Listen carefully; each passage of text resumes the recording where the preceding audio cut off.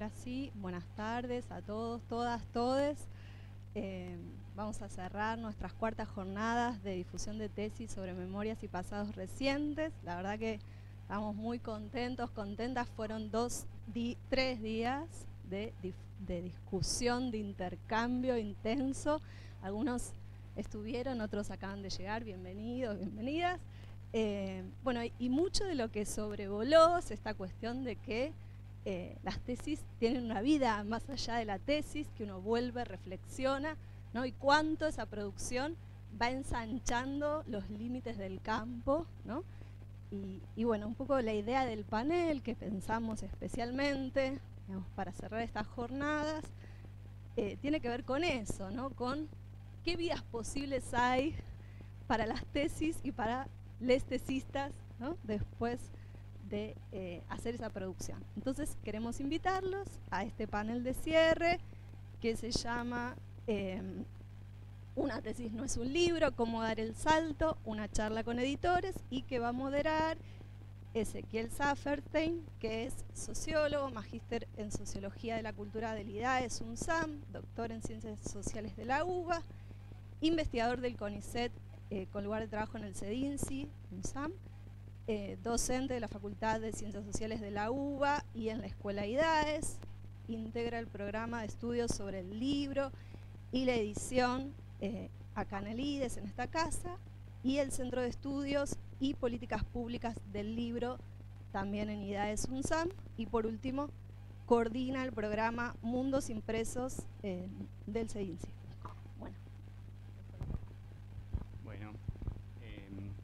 Gracias, eh, Eh, gracias eh, también Valentina y, al equipo por la, por la invitación a este, a este panel, cuyo título promete y, está súper interesante también para reflexionar desde,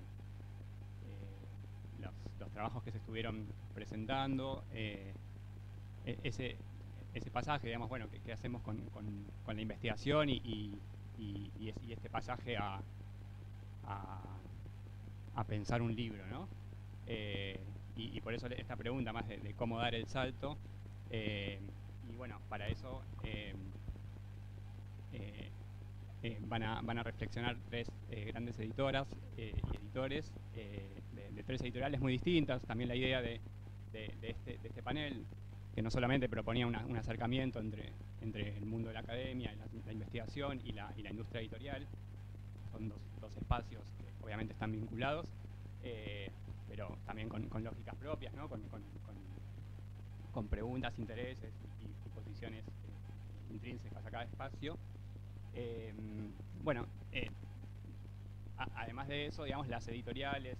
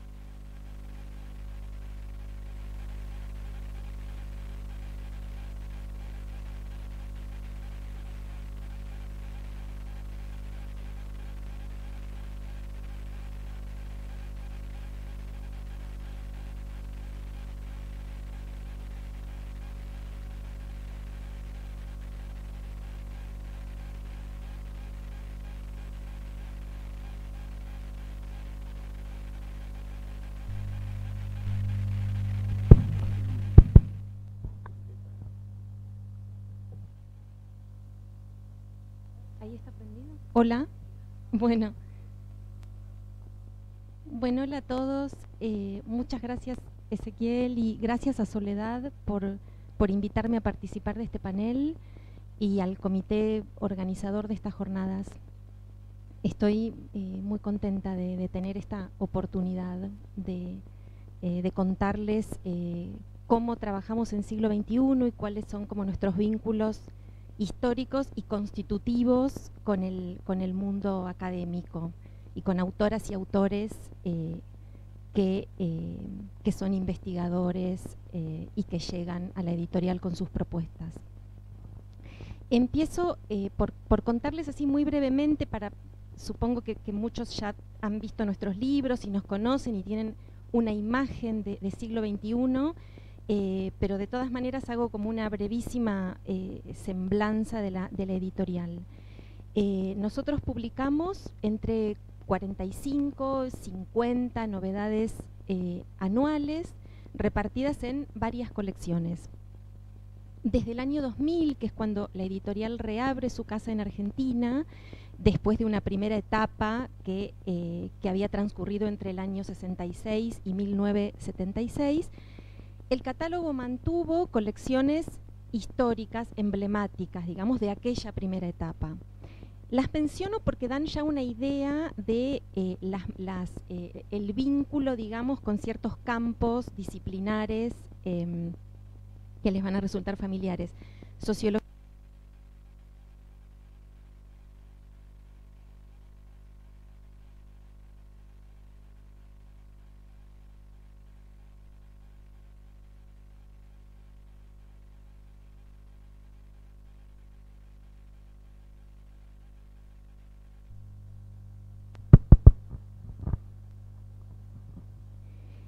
Eh, bueno, esas colecciones, entonces, como les decía, que, con las que la editorial volvió al ruedo en Argentina en el 2000, fueron Sociología y Política, la Biblioteca Clásica, que es donde está como ese, catálogo más eh, emblemático de la, de la, editorial, Foucault, Bartes, Todorov, Bakhtin, Lacan.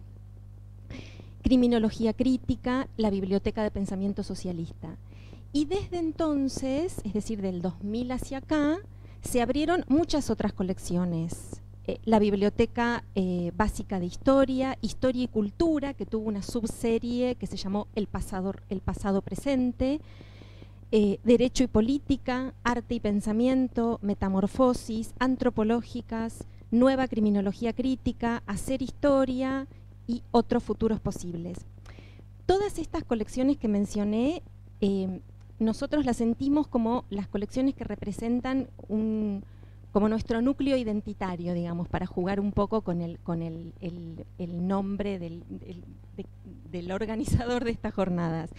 Eh, es decir, que es un catálogo de ciencias sociales, de humanidades, eh, un catálogo que nosotros eh, tratamos de, de, mantener vivo, es decir, libros que una vez instalados venden 200, 300, 400 por año, 400 ejemplares por año, y que nosotros, para nosotros es, eh, digamos, virtuoso sostener esos libros, eh, reimprimirlos eh, en la medida en que la situación, a veces las restricciones de la situación lo hacen más difícil, pero reimprimirlos toda vez que se pueda, relanzarlos con nuevas tapas, con contratapas revisadas.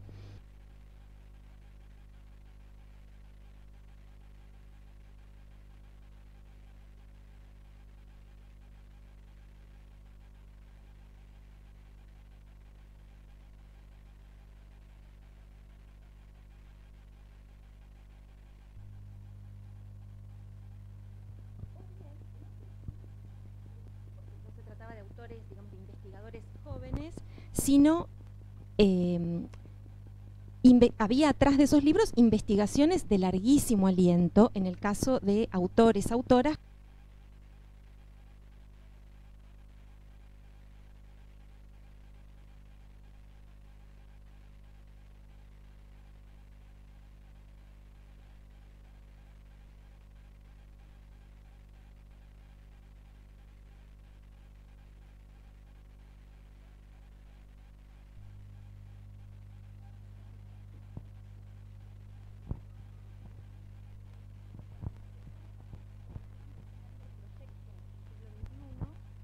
nosotros fuimos abriendo el catálogo a la par de todas estas colecciones que les menciono, con colecciones que buscan llegar a públicos más amplios. Y en ese sentido tenemos colecciones de divulgación científica como Ciencia que Ladra y Ciencia que Ladra Serie Mayor a cargo de Diego Golombek, Educación que Aprende a cargo de Melina Furman. Eh, ahora abrimos una colección con Maristeles Vampa que tiene también una línea de, textos de, divulgación. Eh, y la colección singular, que busca como albergar, digamos, títulos que en las colecciones más eh, identificadas con, distintas áreas del conocimiento académico, nos costaba, sentíamos que esa, riqueza que son las colecciones académicas y que le dan mucha consistencia a nuestro catálogo, eh, nos estaban a la vez restringiendo la posibilidad de publicar libros que nos interesaban mucho. Y entonces la colección singular pasó a ser el espacio para esos libros que buscan llegar a un público, como digo, más, más amplio. Las razones de esta apertura del catálogo son eh, dos, básicamente. O sea, por un lado, genuina curiosidad, interés eh, y, como ganas, deseo, digamos, del equipo editorial de, eh, explorar ciertos temas, ciertos registros, ¿no? de ver cómo funciona, es decir, de correr ciertos riesgos, de salirnos como de, la zona más segura, ¿no? Em, pero también son eh, comerciales, podría decir, porque hoy por hoy, cuando buena parte del material eh, circula, de los libros rigurosamente académicos, se sube a la nube y está disponible en distintos como, como repositorios, digamos Dropbox o Drives, o, una editorial, sería imposible que una editorial como Siglo, que vive de vender libros, pudiera sostenerse, ¿no? Solamente con un catálogo de libros, de libros académicos. Eh, pudiera sostenerse, sostener un equipo profesional de trabajo que, destina como mucho tiempo a, trabajar con cada libro y con, las autoras y autores. Em, pero vuelvo entonces al, tema de la, mesa, que es esos libros que salen de una tesis o de una investigación académica de, largo aliento y que son centrales en nuestro catálogo en la medida en que lo que nosotros buscamos es publicar ensayos de calidad. ¿Cómo llegan a nosotros esos libros? ¿Cómo llegan esas propuestas?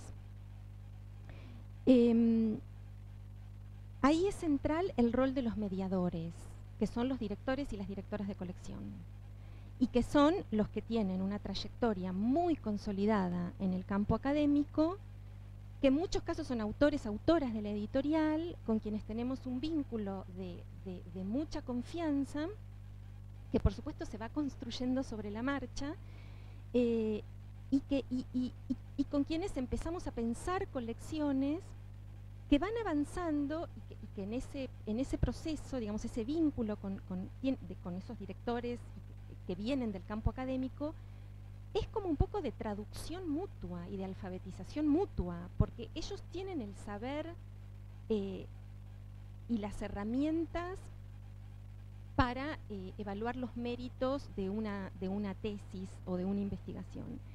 Eh, pero es en la conversación con el equipo editorial, en siglo somos el, bueno, el director editorial, que está por acá, y somos tres editoras, que venimos de lugares distintos y con, formaciones eh, también eh, em, diferentes, pero, pero em, digamos, es, en, la conversación ¿no? con, de los directores de colección con el equipo donde las decisiones van empezando a aparecer.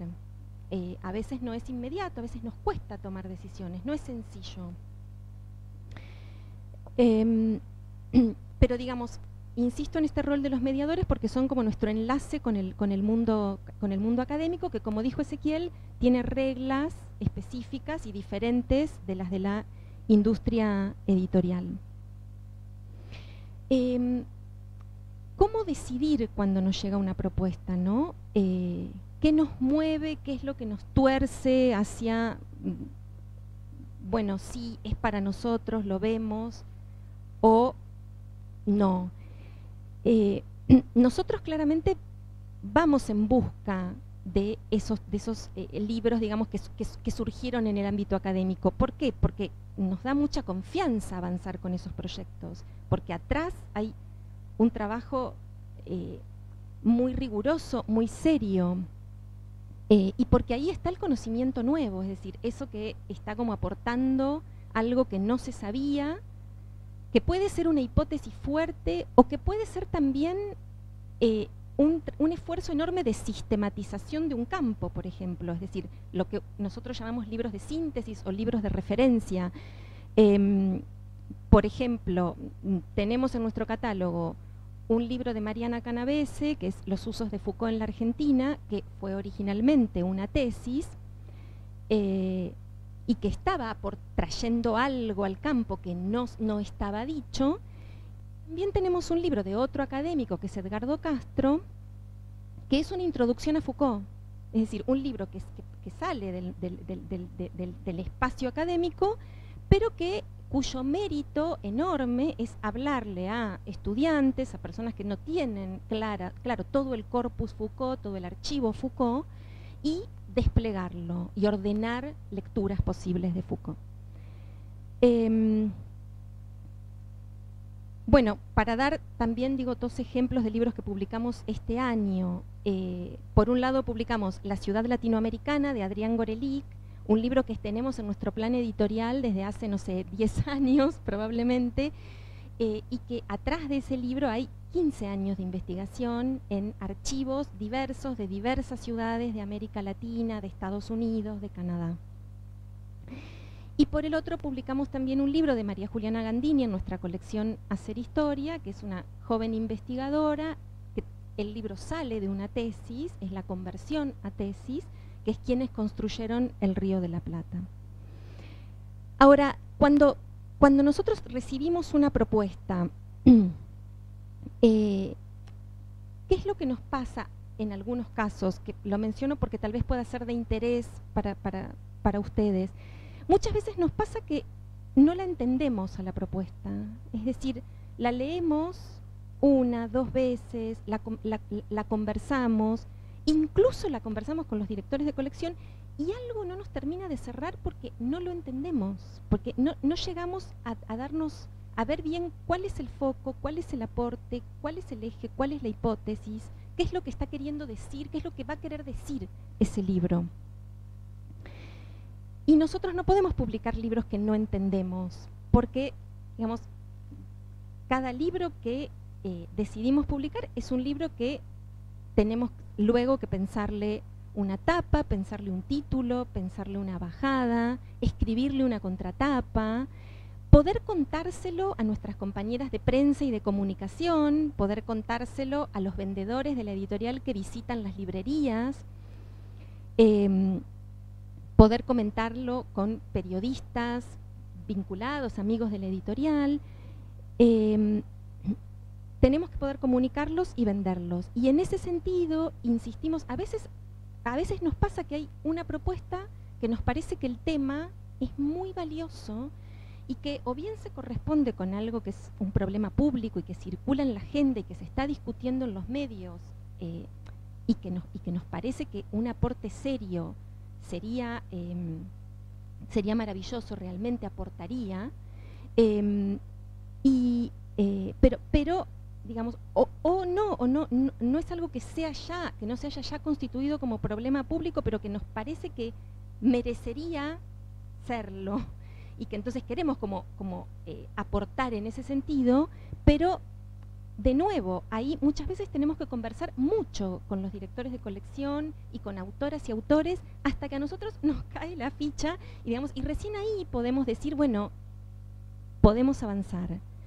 Eh, y a veces les decimos a los autores, autoras, cuéntenos lo que quisieron hacer, lo que están queriendo decir, como si se lo contaran a un amigo, amiga que no tiene ninguna relación con el campo que, no tiene conocimiento experto sobre ese tema, hagan la prueba. Eso es lo que queremos que nos... ese es el registro que a nosotros nos sirve para después sí trabajar con materiales que, por supuesto que son complejos, ¿no? Em, bueno,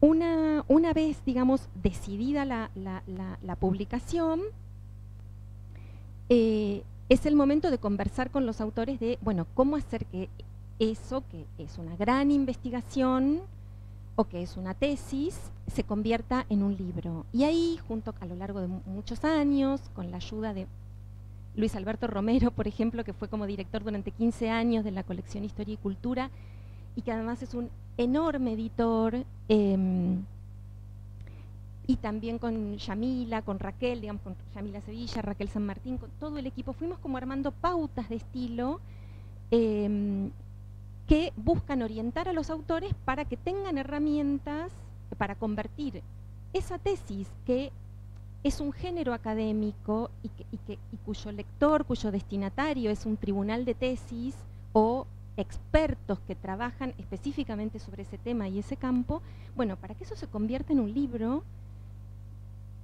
amable con un público que sea informado, curioso, que tal vez no pertenece estrictamente a ese campo, sino a otros, y tal vez hasta poder aspirar a romper un cachito ese techo y llegar al lector que visita las librerías y ve un libro como el de María Juliana o, como, no sé, un libro que publicamos que también en su origen fue tesis y que es La Rosca Política, y que diga, ay, pero me interesa, no sé, me interpela. Em, esas pautas incluyen la cuestión de la extensión. Para nosotros un libro eh, tiene que tener una, extensión, es deseable que tenga una extensión estándar de 240, 260 páginas. Eso sería más o menos 550.000 caracteres totales, caracteres con espacio. Si de esos 550.000 espacios el 50% son notas al pie, estamos en un problema. Entonces, otro, otra cuestión que trabajamos mucho con los autores es que de, de ese total un 8, un 10% sean notas al pie, no más que eso.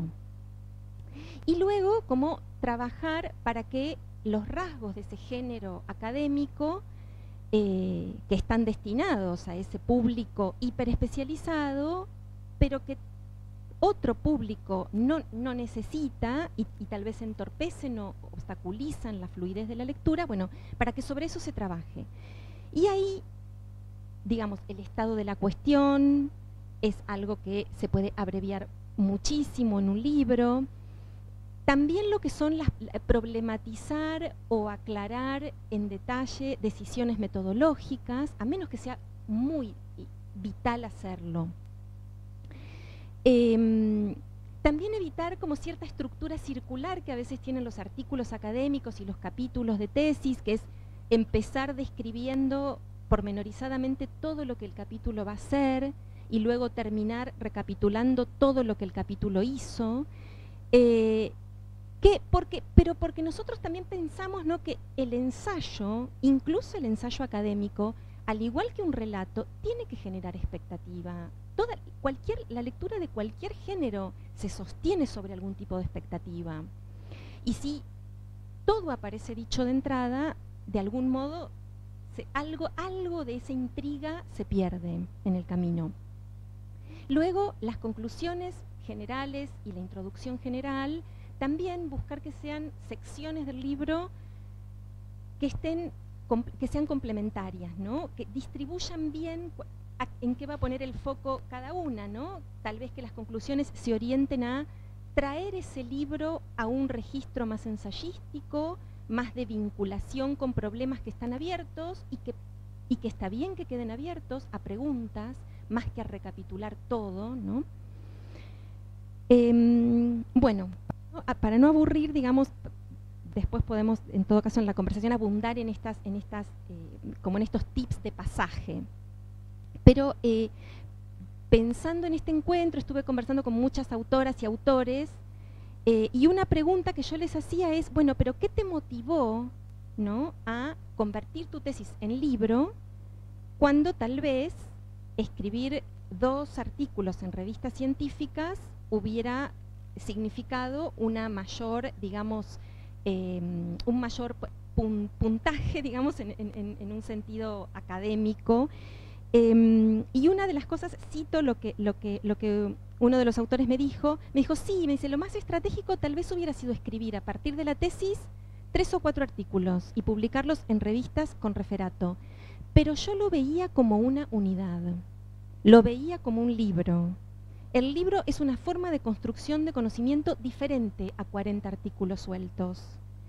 Y otra cosa que me dijo que me, pareció así como muy, muy rica es, ¿Cómo medir un aporte de alguien que hace investigación? Es decir, un libro lo permite de un modo que los artículos sueltos no es tan claro que lo permitan, ¿no? Medir un aporte. Y en algún momento me dijo también algo muy lindo, que es, necesitamos relato, necesitamos narración. Em, y respecto de las decisiones de, durante la reescritura, ¿no? Porque con una de las de, los autores que hablé me decía que solo su tesis, solo en notas al pie tenía 550.000 espacios, que era lo que nosotros pedíamos ¿no? como extensión límite para el libro. Eh, y respecto de algunas decisiones que, había, que había tomado, me decía, bueno, los primeros capítulos los deliberadamente los trabajé para que fueran más narrativos. Yo me preguntaba qué necesitaba saber un lector para poder abordar los capítulos centrales del libro, que tal vez eran los últimos tres capítulos, donde había ahí como mayor despliegue conceptual analítico. Entonces, en esos primeros capítulos me decía, busqué sembrar ideas, dosificando cuánto adelantar, cuánto anticipar, para poder después recuperar eso que había sembrado en el desarrollo, pero a la vez sin repetir, digamos, usando tal vez un reenvío interno, ¿no?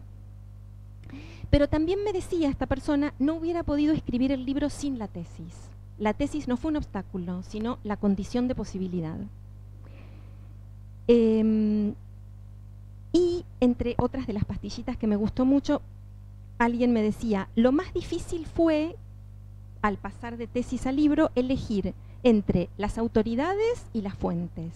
Es decir, la profusión de de citas y de, eh, digamos, de, investigaciones que precedieron a ese trabajo.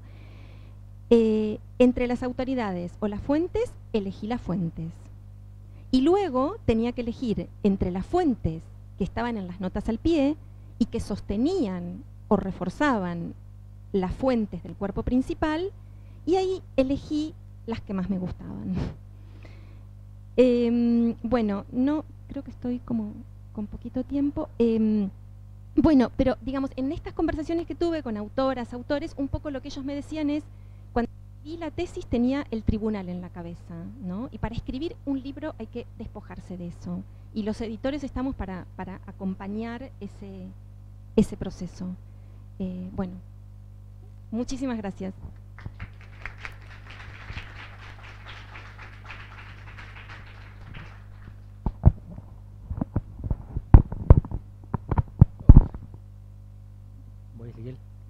Bueno, gracias Ana por, por ese primer tramo muy ilustrativo en el que nos vamos a coincidir en muchos puntos. Eh, bueno, efectivamente yo soy codirector de una colección de, libros digitales. Es una colección, no, no, no, una editorial, eso ya hace una distinción, una salvedad, hay una serie de decisiones que no pesan sobre mí como eh, un poco pesan sobre, sobre Ana y supongo que está Carlos por acá. Em, entonces, em, y a la vez no es, no es en el marco de una editorial o una serie de editoriales que tengan, eh, podríamos decir, como una dimensión más comercial. Entonces, en ese punto, amparada en, marcos universitarios, la Universidad Nacional de General Sarmiento, la Facultad de Humanidades y Ciencias de la Educación de la Universidad Nacional de La Plata, quizás hay otro margen u otros márgenes para tomar decisiones que, por un lado, pueden resultar como auspiciosos en, el orden de pensar las publicaciones de formato tesis, pero que a la vez pueden también resultar onerosas o, problemáticas a la hora de pensar por ahí el impacto, la difusión, la llegada, la distribución. Em, que tienen estas, eh, estas colecciones. Em, en ese sentido, y un poco pisándome con, lo que decía Ana, casi ahora se cae, no se paga. Eh, un poco pisándome con, con, lo que decía Ana hacia el final de su presentación, efectivamente una tesis no es un libro, pero es su materia digamos, por lo menos en este ámbito, en el auditorio del IDES, en el marco de una jornada de presentación y discusión de tesis sobre memoria e historia reciente, la tesis está ahí. Eh, y efectivamente damos por sentado, quienes estamos aquí presentes, eh, que toda investigación concluye en una tesis, que toda investigación de posgrado concluye en una tesis. Eso es presumir de, digamos, del, buen recorrido, del buen trayecto. ¿Por qué? Porque básicamente no todos los becarios y becarias, no todos quienes escriben en un posgrado terminan haciendo la tesis. Entonces, digo esto, lo pongo en valor ¿por porque el hecho de haber hecho una tesis, haberla finalizado, implica mucho trabajo. Y es un trabajo que, como dijo, dijo Ana, a veces lleva 5, a veces lleva 7, a veces lleva 15 años. Entonces, luego lo que nos pasa, porque además de editor soy autor, soy investigador del CONICET, lo que nos pasa muchas veces es que efectivamente creemos que esa producción en la que muchas veces nos vimos eh, nada, sometidos en soledad o, con mucho pesar, a veces no, de modo alegre, compartiendo jornadas y demás, queremos que trascienda esa dimensión puramente métrica del CONICET, que es medir si está publicado en una revista con referato, si es tipo 1, tipo 2, tipo 5. Entonces, y el libro efectivamente tiene un, valor como capital cultural, ¿sí? que efectivamente trasciende eh, nuestra propia voluntad. Entonces, vemos en ese horizonte, como decía el colega que, habías entrevistado, la posibilidad de, eh, publicarlo como unidad, como un todo, como lo que fue en su, en su origen, y eh, a la vez, nada, ponernos muchas veces en el debate público yo un poco estuve leyendo el, eh, el, programa de las jornadas y efectivamente en la gran mayoría de las tesis que ustedes han trabajado tienen impacto en el debate contemporáneo. Entonces, bueno, lo que queremos justamente es un poco incidir en ese debate, porque aparte de lo que nos pasa muchas veces en relación a los temas de investigación y lo, que se dice sobre esos temas en el debate público, es muy distante del producto de la investigación. Entonces creemos que incluso podemos no solo incidir, sino que podemos ¿sí? poner otra voz, otros matices, corregir ciertos errores. Entonces ahí me parece que, hay una dimensión que es central a la hora de pensar, de revalorizar la tesis como formato. ¿sí? La tesis no es un libro, pero es su materia, o sea, no hay que renunciar a eso. ¿Por qué digo esto? Porque me parece que lo, otro es que si reconocemos que la tesis es la materia del libro, lo que, también, lo que también deberíamos reconocer es que, en todo caso, lo que podemos hacer con esa tesis en el pasaje a un libro es inscribirla en un género, ¿sí? que es el género de investigación, también como, como, dijo, como dijo Ana. Y, en ese sentido, el género te condiciona en un punto, em, te ampara, pero te condiciona. ¿Te ampara por qué? Porque, bueno, un libro de investigación tiene su propia lógica, es decir, lo podemos despojar de el estado de la cuestión, de algunas notas al pie, de algunas citas de autoridad y demás. Eso, desde ya, sobre eso luego voy a, voy a decir algo acerca de cómo pensamos nosotros eso, desde la colección. Pero a la vez te condiciona, porque efectivamente, salvo contados casos, que es la rosca política, porque la rebeldía se volvió de derecha, pienso en algunos títulos más recientes, el último de Sebastián Carasay, eh, lo que no sabemos de Malvina, para pensar, o, bueno, o su anterior libro, también, editado por siglo, pueden trascender ¿sí?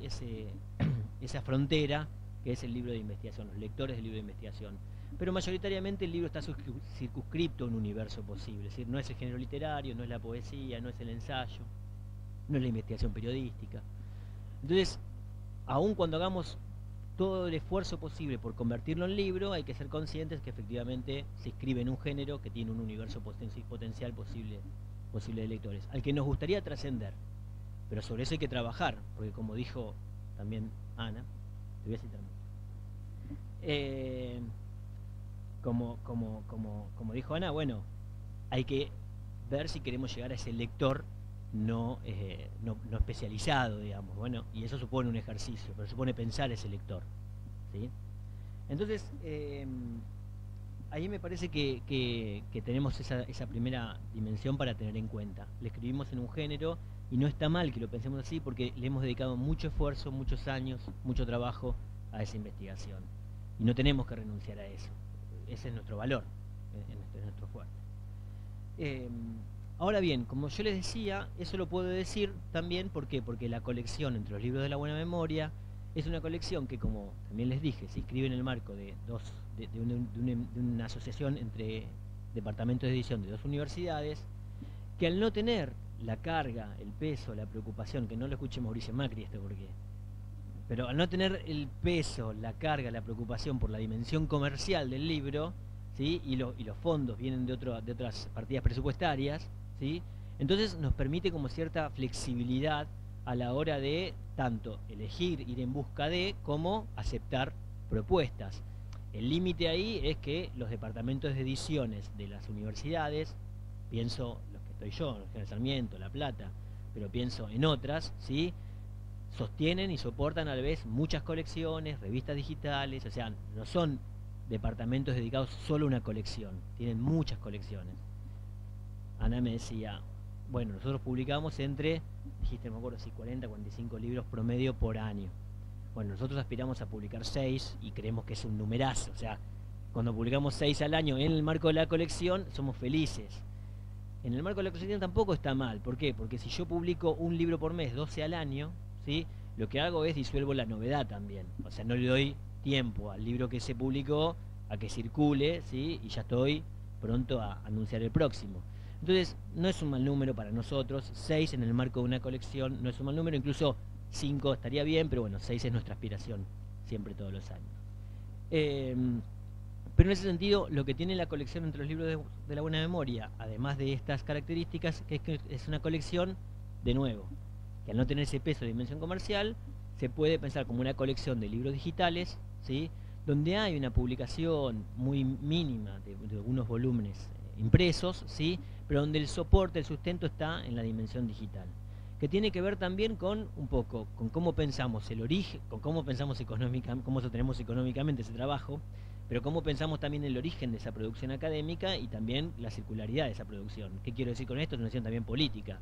Digamos, en la medida que la mayoría de esas investigaciones transcurren en universidades nacionales, en el marco de posgrados, con personas que mayoritariamente han recibido becas, en un punto esa producción es de autor, pero también es de carácter público. bueno, fue financiada por el Estado, en su, gran mayoría, no todas, pero en su gran mayoría, y hay una decisión que también es política. Entonces, eh, eso generacionalmente a mí todavía me resulta problemático, porque yo soy decimonónico, diría, y a mí me gusta el formato libro-papel. Pero efectivamente, si lo pienso en términos generacionales, mis estudiantes, todo lo contrario, ya no van ni a la fotocopiadora, mucho menos a veces a las librerías, bueno, acá Ezequiel por ahí me puede decir otra cosa, pero lo que me piden es, dame el PDF, dame la versión digital, o sea, o, decime que el libro está en, versión EPUB, Movie. Entonces, ahí la dimensión generacional también pesa mucho a la hora de pensar, de pensar también estrategias de de, de elaboración, de edición y de circularidad de, esa, producción. Ahora bien, si uno mira el catálogo, nuestro pequeño catálogo de, los libros de la buena memoria, tenemos ya a nuestro ver 30 títulos. Eh, es poco, uno podría decir es poco, y eso, eso es relativo. ¿Por qué? Porque si pienso que es una colección cuyo origen es en el 2015 de una universidad nacional dedicada solo a la publicación de tesis o investigaciones que fueron producto de, eh, de, investigaciones en el marco de los estudios de, sobre memoria e historia reciente, es un número sustancial. Y tenemos otros entre 12 y 15 en distintos estadios del proceso de, elaboración, producción y evaluación. Entonces, bueno, es una, es una, podemos decir, es una colección que en el campo de los estudios de historia reciente y memoria se ha instalado. De hecho, estoy acá, en un panel de cierre de estas jornadas, no soy un, extraño. Entonces, digo, ahí me parece que eh, algo de la colección ha, logrado constituirse. Y en su haber tiene quizás algo que, de nuevo, en la lógica de que no tiene sobre sus espaldas esa dimensión más comercial, es que entonces puede jugar no solo con, em, con el, interés que puede despertar un tema de investigación, sino con la idea de la federalización del conocimiento, del saber. Y esto, em, ¿qué quiero decir con esto? Podemos publicar una tesis sobre eh, un sitio de memoria en Ciudad de Buenos Aires, por ponerle, de ejemplo, pero también sobre el movimiento estudiantil en La Pampa, sobre las ligas agrarias en Formosa, sobre el movimiento de derechos humanos en Rosario, sobre el operativo Independencia Tucumán, sobre la represión en el Bolsón, sobre... podría seguir. En ese sentido, si miran el catálogo, van a descubrir 30 libros, pero van a descubrir que esas temáticas ¿sí? lo que hacen es se federalizan la cuestión de la historia reciente y la memoria. Si no están centrados ¿sí? solo en lo, que ocurre en Ciudad de Buenos Aires en las grandes metrópolis. Entonces eso muchas veces tiene, para mi gusto, ¿sí? esa ventaja respecto de cómo pensar ese impacto, esa circularidad de la producción en términos de estos los estudios de historia, de historia reciente. En el origen, en 2015, ¿sí? la, colección tuvo como, como objetivo dar a conocer, en, el, marco de unas jornadas muy parecidas a estas, ¿sí? la jornada de historia reciente, eh, las, jornadas eh, interescuelas de historia y demás, había ahí un sustrato ¿sí? de producciones académicas muy interesantes que se, percibían en las mesas, pero que era evidente que no podían llegar al circuito comercial de, publicaciones, por los distintos motivos que fuera. El riesgo de eso era justamente que la tesis no pasara de los repositorios institucionales de nuestras universidades, a los que a veces es muy difícil también llegar. ¿sí? Yo estoy en la Universidad de La Plata y quiero consultar una tesis de la Universidad de Rosario, es difícil, tengo que ir a Rosario. Más en el 2015, hoy por ahí los formatos son otros. Entonces en ese momento dijimos, bueno, vamos a darle posibilidad de esto. En ese primer tramo lo que se hacía muchas veces era, en los circuitos muy parecidos a esto, estar atentos, buscar, tener sensibilidad, decir, che, esta, este, esta tesis está buena, se acaba de defender, vamos a, vamos a alentar a, esta, a este autor, a esta autora, a este investigador, investigadora a publicarlo. Claro, al principio había que convencer a los autores que una publicación digital tenía futuro, digamos. Los primeros autores la verdad que arriesgaron porque no había en el horizonte una creencia acerca del libro en su versión digital, ni tampoco de que la colección se iba a sostener. Entonces había que hacer un trabajo de convencimiento de que era una opción, que era viable. Eso se fue modificando con el tiempo. Bueno, ¿por qué? Porque cuando ya instalaste la conexión y el libro digital es un insumo más también para nuestro propio trabajo, entonces nos empiezan a, a llegar muchas veces pedidos. A veces a través de sus directores de investigación, a veces a través de conocidos, a veces las mismas personas nos escriben diciendo, me gustaría publicar acá. Y ahí viene el desmadre. ¿Por qué? Porque una cosa es salir a buscar, busco uno, dos, tres por año, y otras cuando te llegan 40 por año y vos sabés que podés publicar seis. Nos pasa lo mismo ahí que a todas las editoriales.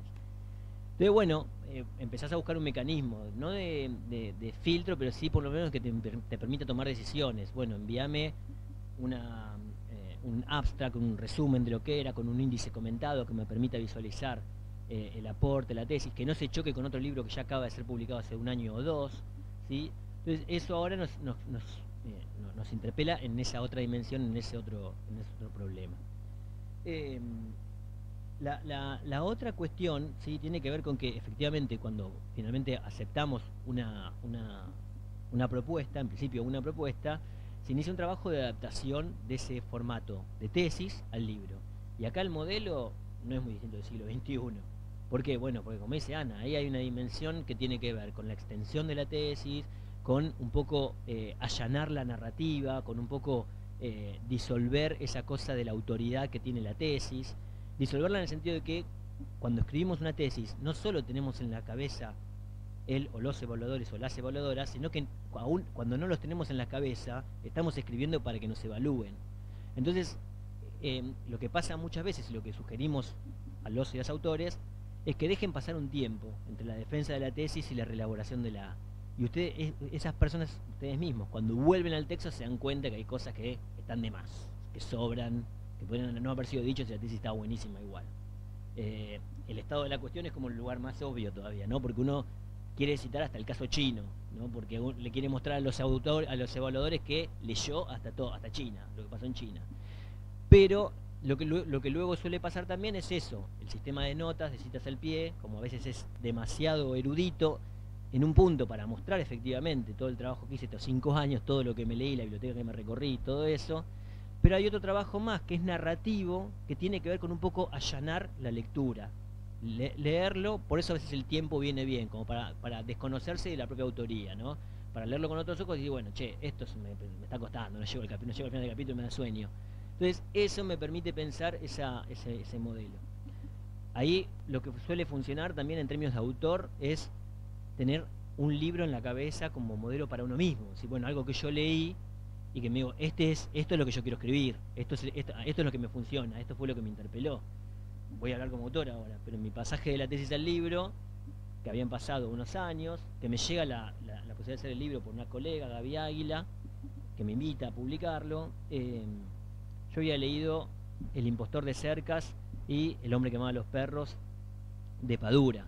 Y para mí eran dos textos literarios, obviamente, uno, bueno, una investigación de no, ficción, pero para mí ahí estaba, el, ahí estaba el horizonte. Yo quería convertir mi tesis en eso, sabiendo que era un libro de investigación. Y bueno, y eso me funcionó a mí en la cabeza, a la hora de decir, bueno, todo esto no va, ¿viste? Eh, y entonces a veces hay que encontrar, hay encontrar como esa guía, como encontrar el modelo en otro autor, en otros libros, eh, pero no renunciar a la investigación. Eso, lo quiero dejar en claro. Eh, entonces, bueno, ahí me parece que eso puede funcionar. Lo que solemos hacer en ese pasaje es decirle a las autoras, a los autores, o a los potenciales autores y autoras, ¿sí? que hagan ese primer barrido del texto. ¿sí? Bueno, sáquenle lo que tengan que sacarle, por la cantidad de caracteres, sobre todo por allanar la lectura. Eh, piensen en un texto que no tiene que ser leído para ser evaluado. En todo caso, serán evaluados por los editores que miramos otras cosas, justamente. Em, y aparte, por ser libros contenidos en este marco de ediciones universitarias, tienen un sistema de referato por pares anónimos. Em, a los cuales con los cuales también trabajamos. ¿Por qué? Porque la tesis como tesis ya fue evaluada y aprobada. Entonces, la, lectura de los evaluadores no es una lectura de contenido. No están ahí para decirme si la tesis está bien o está mal, es cierta o, no es cierta. La, investigación ya está evaluada. Lo que nosotros le pedimos a los evaluadores es efectivamente esa lectura como lectores, ¿sí? no como especialistas. Entonces ahí nos permitimos jugar. ¿sí? A veces hacemos que alguien que fue parte de ese jurado evaluador vuelva a leerla y diga, no, sí, laburó o sea, no es lo mismo que yo leí la primera vez, lo leí más rápido, una semana, el otro me tardé más. Hacemos ese trabajo, ¿sí? Y luego avanza, avanza el proceso de, edición, que es un proceso largo, porque como les dije, las editoriales tienen otros tiempos, otras premisas, otras colecciones que, editar y demás.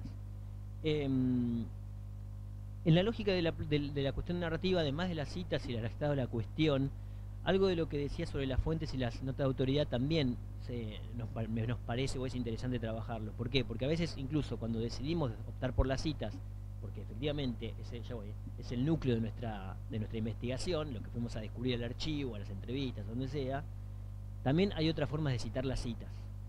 ¿sí? Muchas veces respondemos más a la lógica del artículo académico, donde corto el párrafo, pongo la cita para decir que tal cual lo dijo, cuando en realidad podría decirlo con mis propias palabras, con mis propias, retomar la autoridad, la, voz autoral, la autoridad de la voz autoral, ¿sí? y efectivamente sostener lo mismo. ¿sí? Eh, y entonces a veces hay que también arriesgarse a eso. ¿sí? Me gusta pensar que ahí lo que puede funcionar es un poco el ejercicio de Ana, yo lo, yo lo pondría más extremo todavía, es no intentar explicarle a un amigo sobre qué trabajé o qué investigué, sino pensar potencialmente a qué lector quiero, quiero llegar, a qué lector quiero conmover con esto. Y ahí tenemos un problema cuando pensamos en términos académicos. Primero porque de por sí escribimos para la propia fauna, eso nos sale así, nos, formatea así. Pero cuando pensamos el libro, ¿sí? estamos pensando en los lectores interesados, ¿sí? potencialmente, no necesariamente especialistas del tema, pero allegados. ¿sí? Y ahí me parece que hay una pregunta que es, bueno, ¿quiénes son potencialmente otros lectores? ¿Qué, ¿qué otras personas, y ¿qué otras personas leen libros en Argentina? Es bueno ahí pensar, por ejemplo, che, un docente leería esto, ¿sí? Un militante político leería esto, un funcionario público leería esto. Entonces, cuando vos pensás esos otros lectores potenciales, ¿sí? Algo sobre algo acerca de la escritura, ¿sí? Empieza también a conmoverse. Me parece que es ahí también donde tenemos que muchas veces trabajar, en, leer, en ver potenciales lectores de nuestros libros.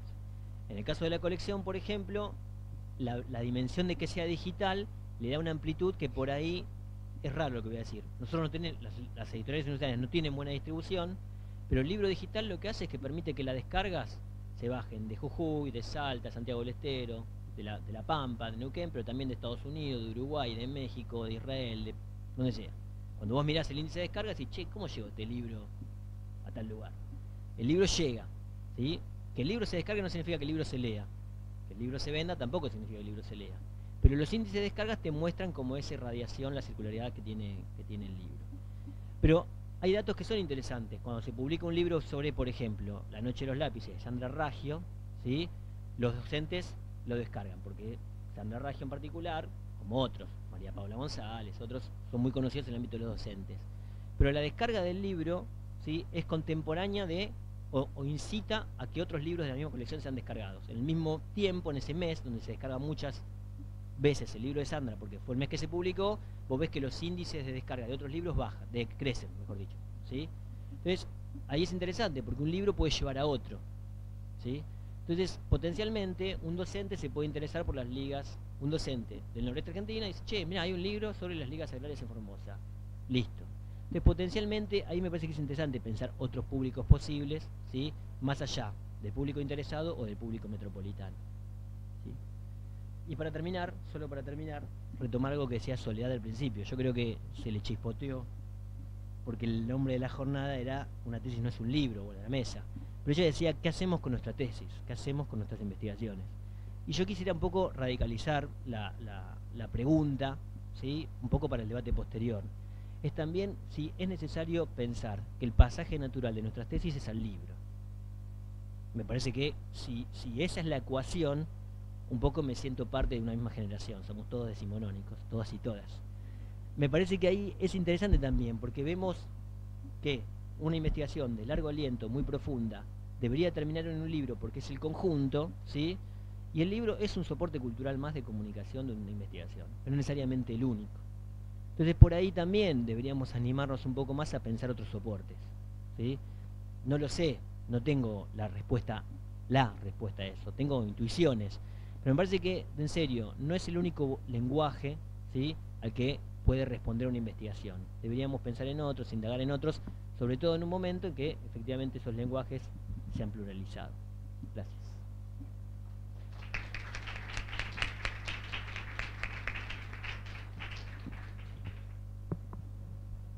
Bueno, muy buenas tardes a todos y a todas. En primer lugar, quiero agradecer a Soledad la invitación para participar con, estos colegas de lujos en el panel de cierre de las jornadas y también celebrar que las universidades brinden estos espacios para poder reflexionar y poder conversar con los doctorados, con los doctorandos sobre un tema que realmente preocupa siempre a lo largo de las carreras, ¿no es cierto? Y yo creo que todo lo que voy a decir ya se dijo, básicamente, pero vamos a intentarlo y, vamos a seguir, porque tomé algunas notas, digamos, en más prácticas quizás, para dirigirme a los investigadores e investigadoras.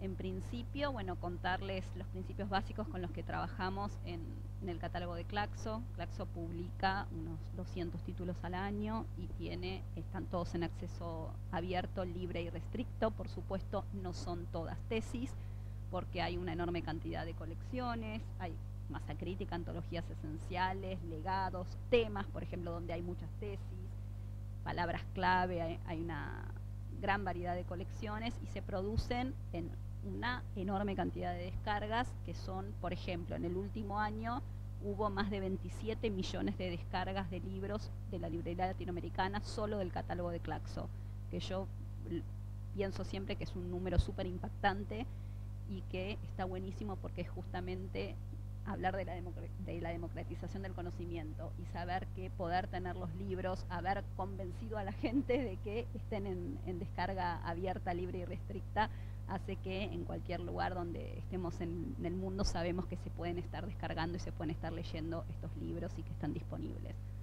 Y bueno, en algunos de los principios con los que trabajamos en, lo cotidiano tienen que ver con el multilingüismo, es decir, porque para Claxo es tanto el español como el portugués son, son lenguas oficiales, así que publicamos en ambas lenguas, trabajamos con en paridad de género y con perspectiva de género, trabajamos pensando en la bibliodiversidad, en el acceso abierto como principio, en la evaluación responsable.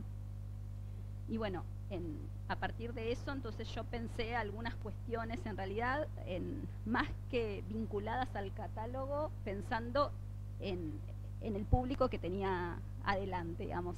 Y creo que en algún momento me iba del lado de editora para el lado de investigadora y pensaba desde el otro espacio, me pasaba del otro lado de la mesa.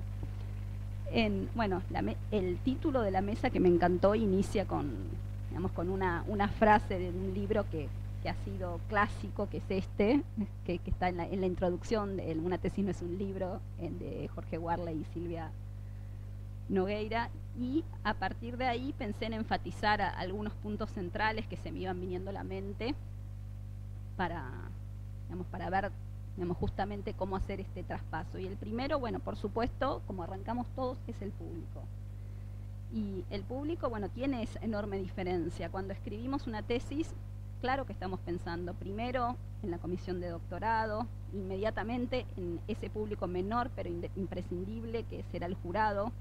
Escribimos básicamente creo para esas tres personas que nos van a dictaminar. Y sin embargo, todos sabemos que en el camino nos leen también consejeros de estudios, directores y directoras de tesis, colegas, amigos, familiares. Dialogamos con otros investigadores e investigadoras en diferentes instancias, por ejemplo, en congresos, en jornadas, en nuestros equipos de investigación durante el proceso de escritura. Pero, ahora bien, cuando queremos publicar el libro, estamos pensando siempre en ampliar ese público. Queremos llegar a más gente, no solo aquellos que están estudiando, como decíamos, esos temas similares, que seguramente son pocos, es poca gente la que está estudiando eso, sino llegar mucho más allá. Y eso supone pensar y armar en nuestras cabezas una comunidad de lectores más extensa, no solo los especialistas, porque entre los especialistas estamos acá y ya nos conocemos entre todos, eso queremos salir de ese espacio. Y entonces tenemos que pensar en la claridad también con la que nos vamos a expresar, lo que puede, yo siempre digo, entender cuando lee nuestro director o directora de tesis, necesariamente no es lo que va a entender en otros lectores menos especializados. Sea, la misma tesis puede que no tenga el mismo alcance. Y con esto no quiero decir que, como decías vos, haya que bajar la complejidad del tema que nos ocupa en la tesis, sino pensar en la forma narrativa que vamos a ocupar. En algunos casos es posible pasar a un registro de divulgación, como también decía Ana, pero quizás son las menos, porque es muy difícil también pasar una tesis a un formato de divulgación. Es un trabajo enorme. Creo que muy poca gente puede terminar haciéndolo, ¿no? Y en, entonces, si estamos pensando en ampliar la comunidad de lectores, hay que tener en cuenta que ya no tenemos que dar cuenta al jurado de que leímos todo lo que es, toda esa biblioteca, que leímos muchísimo, que tenemos una enorme bibliografía, que conocemos y manejamos a la perfección esa bibliografía, que conocemos los conceptos teóricos de nuestro marco, y que otra cosa muy diferente es explicarlo con claridad para los que no son nuestros pares, que creo que todos nos pusimos de acuerdo en esto también. Es decir, ya no le escribimos al director de la tesis, no le escribimos al jurado, sino que tenemos que pensar, entonces, a quiénes estamos escribiendo, quiénes son nuestros lectores. Ese es, como el punto para mí de partida para empezar a pensar en la transformación de la tesis. El segundo punto al que todos volvimos es el género, porque creo que todos sabemos que es una tesis acá, todos los que estamos acá, pero la cuestión es obtener las herramientas necesarias para hacer de esa tesis un libro, que creo que es lo que nos reúne hoy. Y una tesis, sí sabemos, respeta un formato específico, tiene determinadas normas que incluso nos imponen desde nuestras facultades determinada orden cómo tiene que escribirse. Pero yo creo que el libro lo que tiene que hacer es sacarse ese corset, liberarse, volverse más amable con el lector y es una palabra que yo utilizo siempre y que utilizó Ana y me encantó porque yo siempre digo lo mismo, el libro tiene que volverse amable. Así que ahí dije una, una enorme coincidencia y es un desafío profesional increíble, casi casi, casi creo que tan importante como escribir la tesis, poder lograr hacer esa transformación. Y nuevamente, esto no significa que vamos a simplificar el texto, no significa que sea una tarea fácil, ni tampoco implica que vamos a quitar rigurosidad a esa tesis que estábamos trabajando.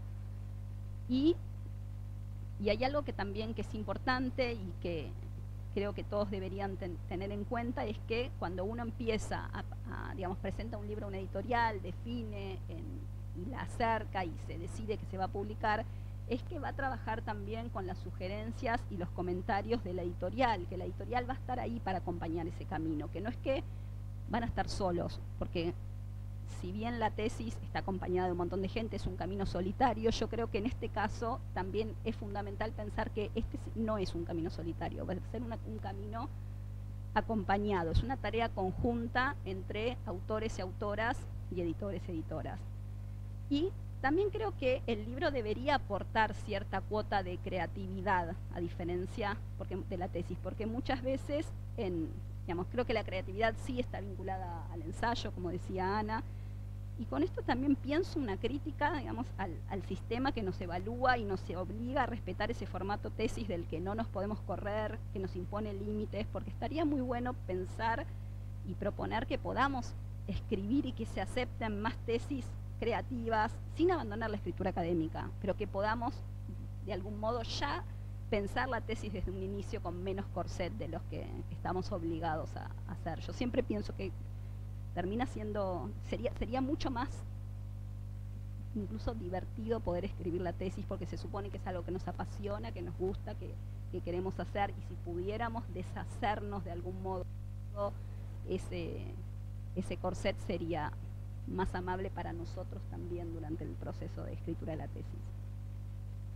Y bueno, también pensar que algunos temas son muy pequeños, cuando uno escribe la tesis y digo pequeño en el formato de demasiado específico, pero que pueden ampliarse, digamos, cuando uno piensa en, en, que va a ser un libro, porque tenemos la posibilidad, durante el recorrido de la tesis, por ejemplo, nos encontramos con objetivos específicos que sin embargo vemos después en un contexto mayor que se pueden ampliar, que es posible recomponerlos y que quizás son muy interesantes, que pueden ampliar el público lector y que quedaron afuera de la tesis, porque cuando nosotros vamos escribiendo muchas veces hay capítulos enteros que después no caben al final y que quedan cosas afuera y que cuando volvemos a pensar en la reescritura sí que entran e incluso digamos después de la defensa con los comentarios que nos hace el jurado y esto no, este tema no lo toqué, este tema ni siquiera se me ocurrió por acá.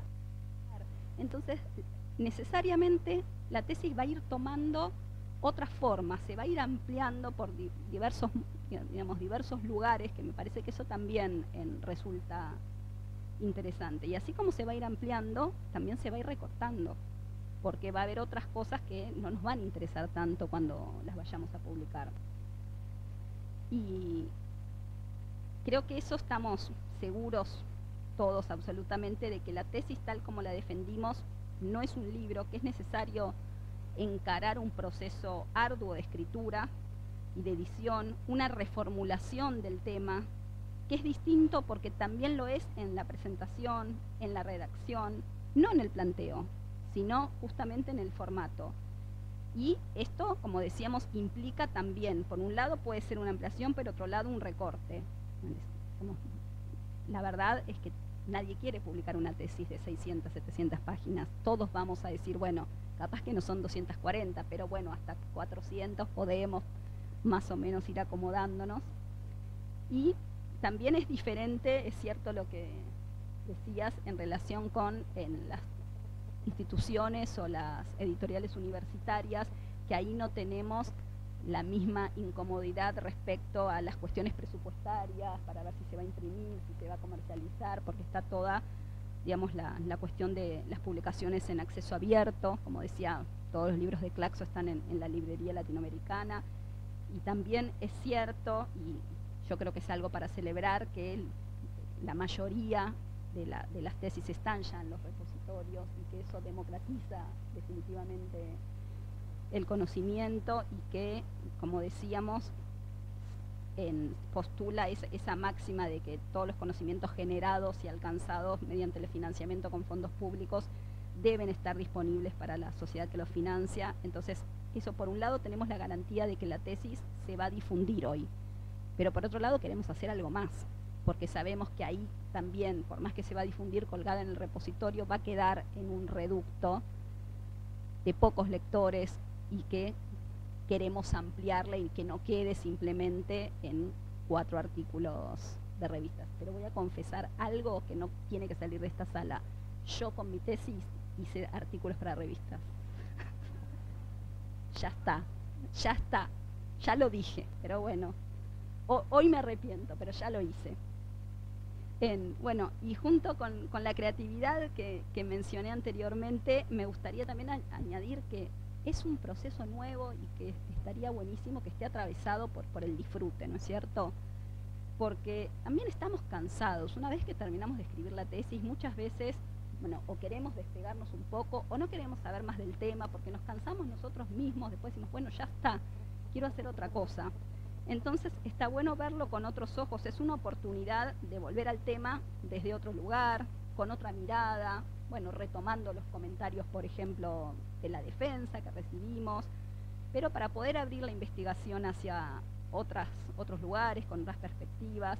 Entonces creo que esto del disfrute no debería ser algo menor que quede afuera, porque es, otra etapa de, esa, de esa investigación y que es interesante. Entonces, a partir de eso me gustaría em, pensar en algunas herramientas prácticas que ya se fueron tomando, pero como para poder sugerir a todos. Por un lado, bueno, comenzar con el título. El título de la tesis suelen ser extensos, suelen ser descriptivos en general y sabemos todos que se pueden acortar. Y buscarle quizás un sentido más metafórico. Y asimismo, el subtítulo, que no es necesario que tenga que dar cuenta de todo, eso, digamos, es una máxima, si bien a veces esto no se visualiza cuando uno comienza este cambio, no, pero yo había pensado este título y este título tenía todo. Bueno, en el formato, digamos, es habitual que después decanta en el trabajo de edición. Cuando uno va trabajándolo, después va a ir encontrando el título. Porque a veces se preocupan, no, porque no, esto me parece que tiene que quedar exactamente así y es un título que en la tapa podría tener siete líneas. No, eso no. Digamos, hay que pensar de otro modo puede usarse una fórmula más literaria para el título, dejar el subtítulo, por ejemplo, para aclarar temporalidades, para nombrar algún concepto, lugar, pero que sea mucho más breve. Y, por supuesto, como mencionamos todos, hay algo fundamental y es el trabajo en la introducción.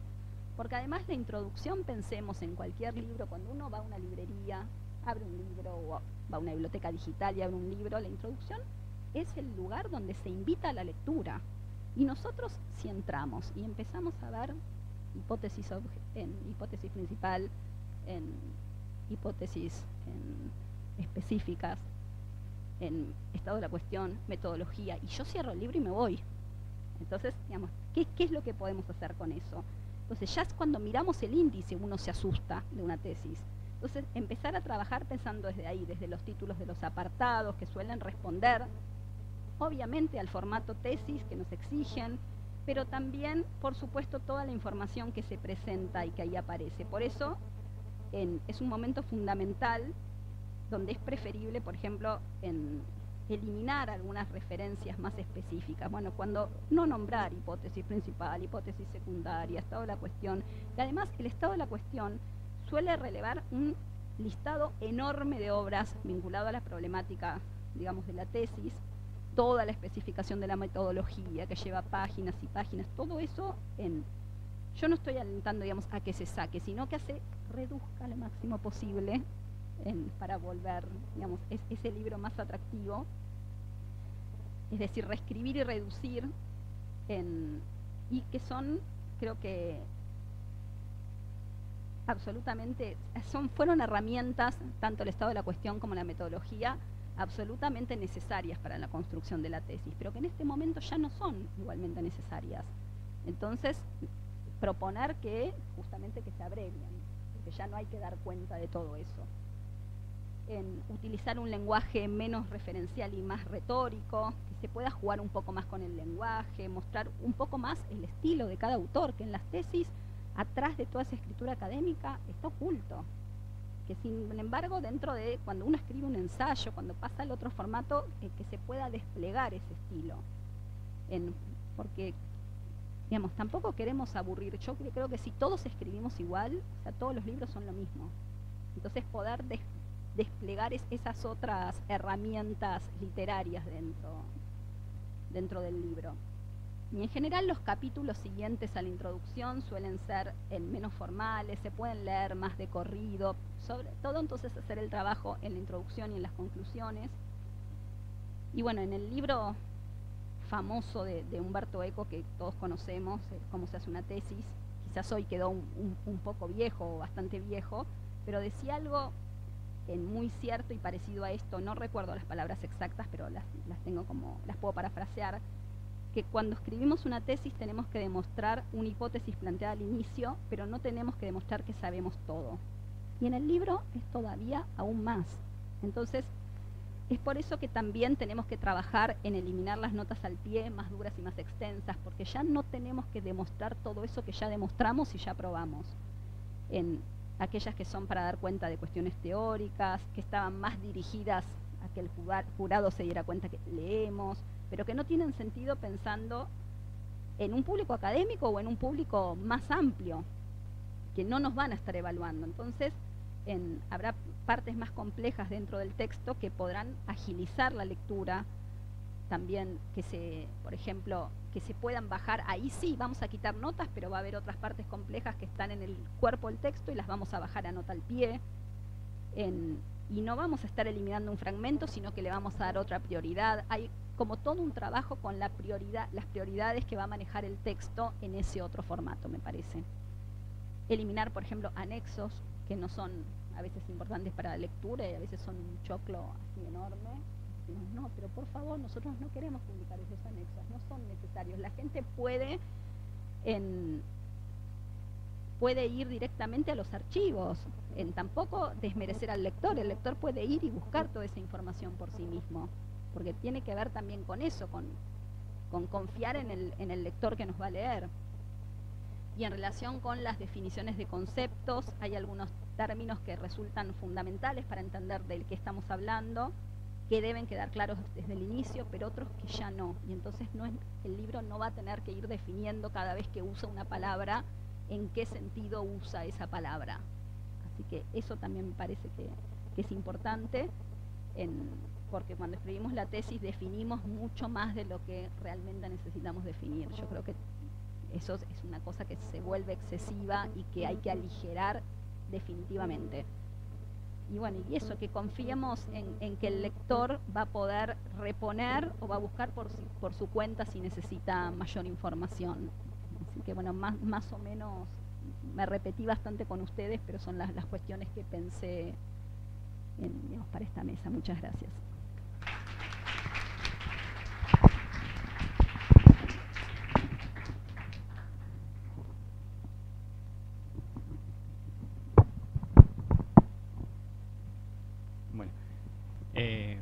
Gracias eh, Ana, Emanuel, eh, Fernanda, estuvo eh, buenísimas las, las intervenciones. me parece que, nada, desde, el lado de, de, investigadores, tener este panel, nada, habilita un montón de, preguntas, conocimientos, tips que, siempre son necesarios o, eran necesarios de antes. al momento de escritura me parece buenísimo lo, que dijiste recién Fernanda como para el mismo proceso de la tesis eh, estar pensando en, esto eh, es, clave y no, no, no, nos, lo dicen desde antes. ¿no? Em, también tengo un par de, cuestiones para, abordar, muchísimas ya las, ya las dijeron ustedes, pero, pero también alimentan a la, discusión y seguramente eh, desde el público tienen preguntas y seguramente entre ustedes también tienen preguntas entre, entre, ustedes, entre sus, también sus proyectos eh, editoriales, ¿no? cada, uno eh, con, su lugar. Eso me, eh, anoté, digamos, fue interesante como, bueno, Siglo publica 50 títulos al año, la colección de, Manuel publica 6 y Claxo 200. bueno, igual la, de Manuel es, una colección en, una editorial universitaria o en dos editoriales universitarias que también que, publican más títulos, digamos, no son solo seis, pero, pero bueno, eso también da cuenta de la diversidad de, las editoriales, también esa cuestión entre lo institucional y la dimensión más eh, de, mercado, digamos, una editorial que se sostiene por, por la compra y por la venta, digamos, de, sus títulos, y otras que tienen el, apoyo institucional eh, en, términos de lo, de lo material, ¿no? que, es una cuestión eh, importante también me parece interesante en, esta, en este planteo del panel, ¿no? de la investigación que hacemos durante tantos años para escribir una tesis con todas las particularidades de ese género eh, que, tiene, y después el pasaje al libro, que digamos en, el título del panel es cómo dar el salto, eh, antes, antes del panel conversábamos con Katy que, también se puede habilitar la pregunta de otra pregunta previa a cómo dar el salto, sino para qué, ¿no? ¿Para qué dar el salto o, por qué eh, queremos dar ese salto? eh, en términos de, lo que también decía Emanuel, en términos de, de decir, bueno, eh, queremos publicar un libro para qué, o, cómo, el libro puede convivir con otros, con otros formatos que también están y, forman parte de, las intervenciones y cada vez forman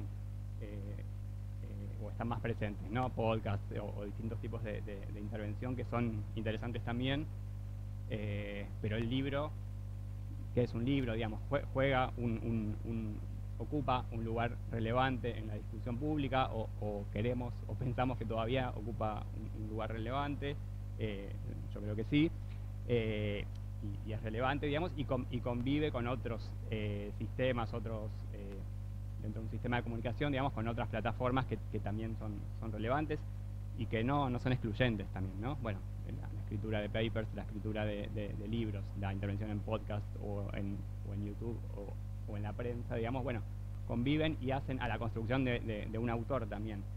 Em, pero, pero bueno, esa, esa pregunta y también sobre la, relación entre autor o, la posición, ¿no? entre la posición autoral y la posición de, la editorial, me parece que es relevante y en, y en, lo que pusieron eh, aquí los eh, editores y, que también algunos ocupan ese, doble rol que también es problemático, ¿no? Bueno, pensar como autor, eh, pero después el pasaje a ser editor eh, se conviven un poco esas, esas, esas tensiones.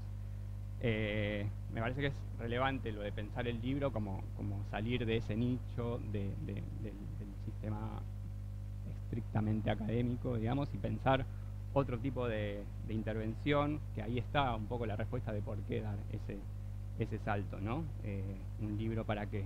Eh, bueno, y, aquí eh, en las intervenciones aparecieron muchísimas pistas, ¿no? Sobre qué están pensando las editoriales en, su modo de intervención, en, su inserción en el debate público, en el debate cultural, que pueden convivir con las aspiraciones de, un autor, digamos, de, tener otro tipo de intervención, más allá de la que exige el CONICET o el sistema de evaluación científico, que también es un tema, ¿no? Eh, digamos, pensar un libro eh, y, en esta disyuntiva entre publicar un libro o publicar cuatro artículos a partir de la tesis, eh, bueno, la decisión de publicar un libro implica implica un pasaje, digamos, bueno, que,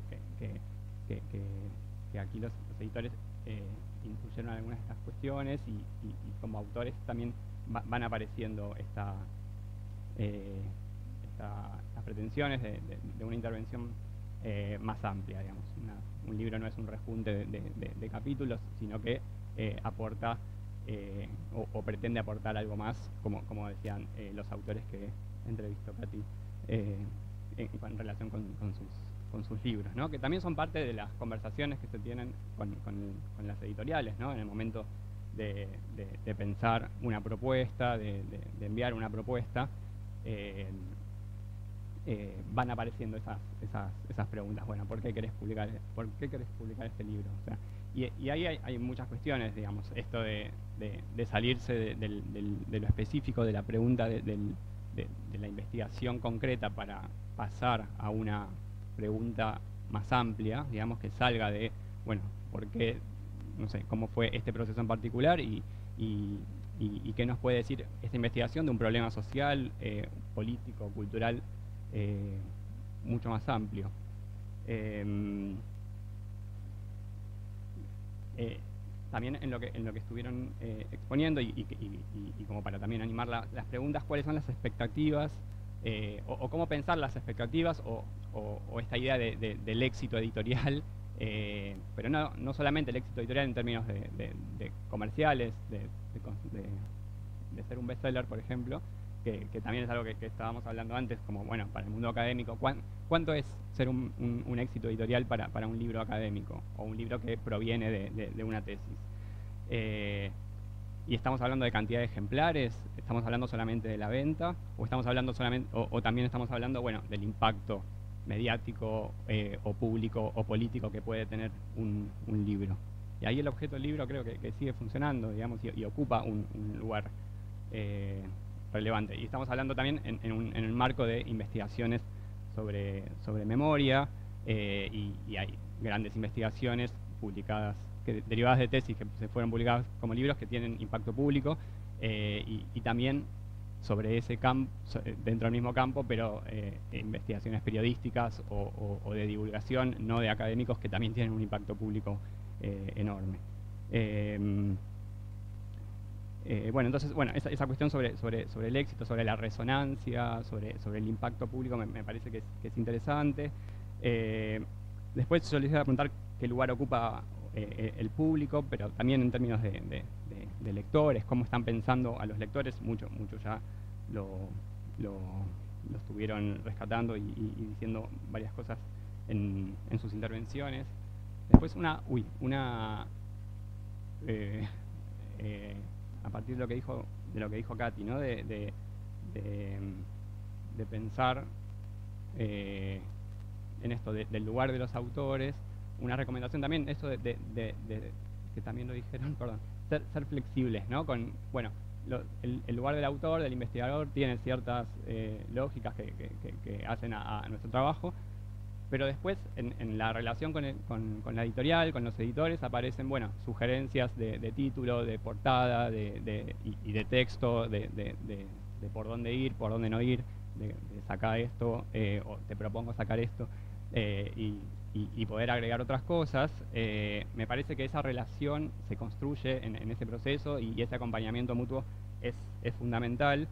Eh, pero también cada uno entender es el lugar que, ocupa, digamos, con sus aspiraciones, su, pretensión, eh, su lugar en, el mundo, de, alguna manera.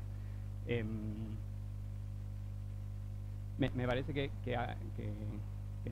en, esta cuestión del, libro como un objeto de, intervención más allá de, una tesis académica que, tiene sus propias reglas, bueno, el libro también tiene sus propias reglas, eh, y,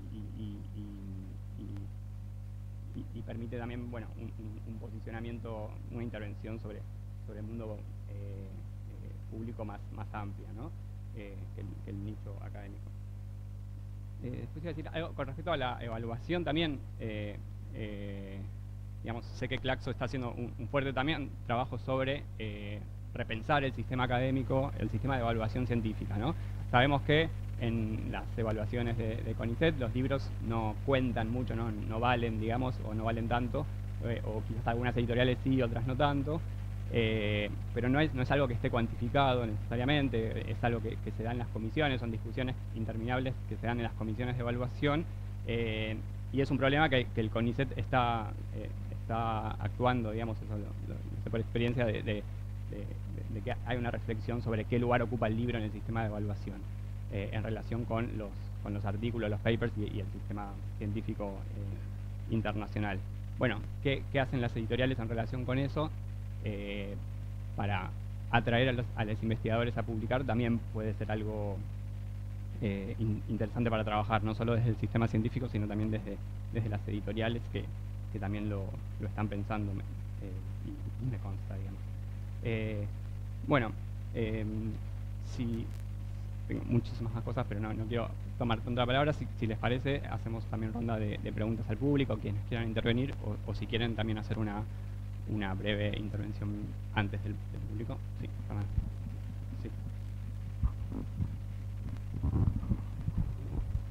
Bueno, porque vos hablabas de salir del nicho estrictamente académico y eso muchas veces se transforma en un dilema para los investigadores e investigadores justamente por el proceso de evaluación porque como bien decías, los organismos de ciencia y técnica que nos evalúan están pensando más bien en, las ciencias exactas, entonces eh, no tienen en cuenta el valor simbólico que tiene el libro para todos los que hacemos ciencias sociales y ciencias humanas.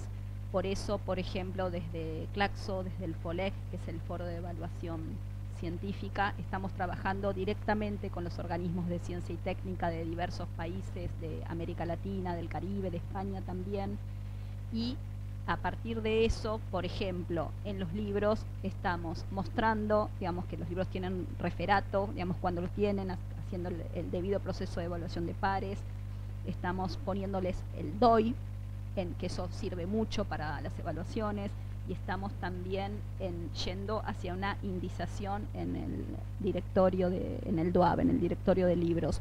Todos estas, digamos, estos tres procesos hacen que después el libro pueda evaluarse como un artículo académico. Entonces es un trabajo que creo al que tenemos que ir las editoriales para poder también luego convencer a los investigadores e investigadoras de que va a ser tan válido publicar un libro en una revista tipo A como publicar un libro en una editorial con todos los parámetros científicos que tiene la revista.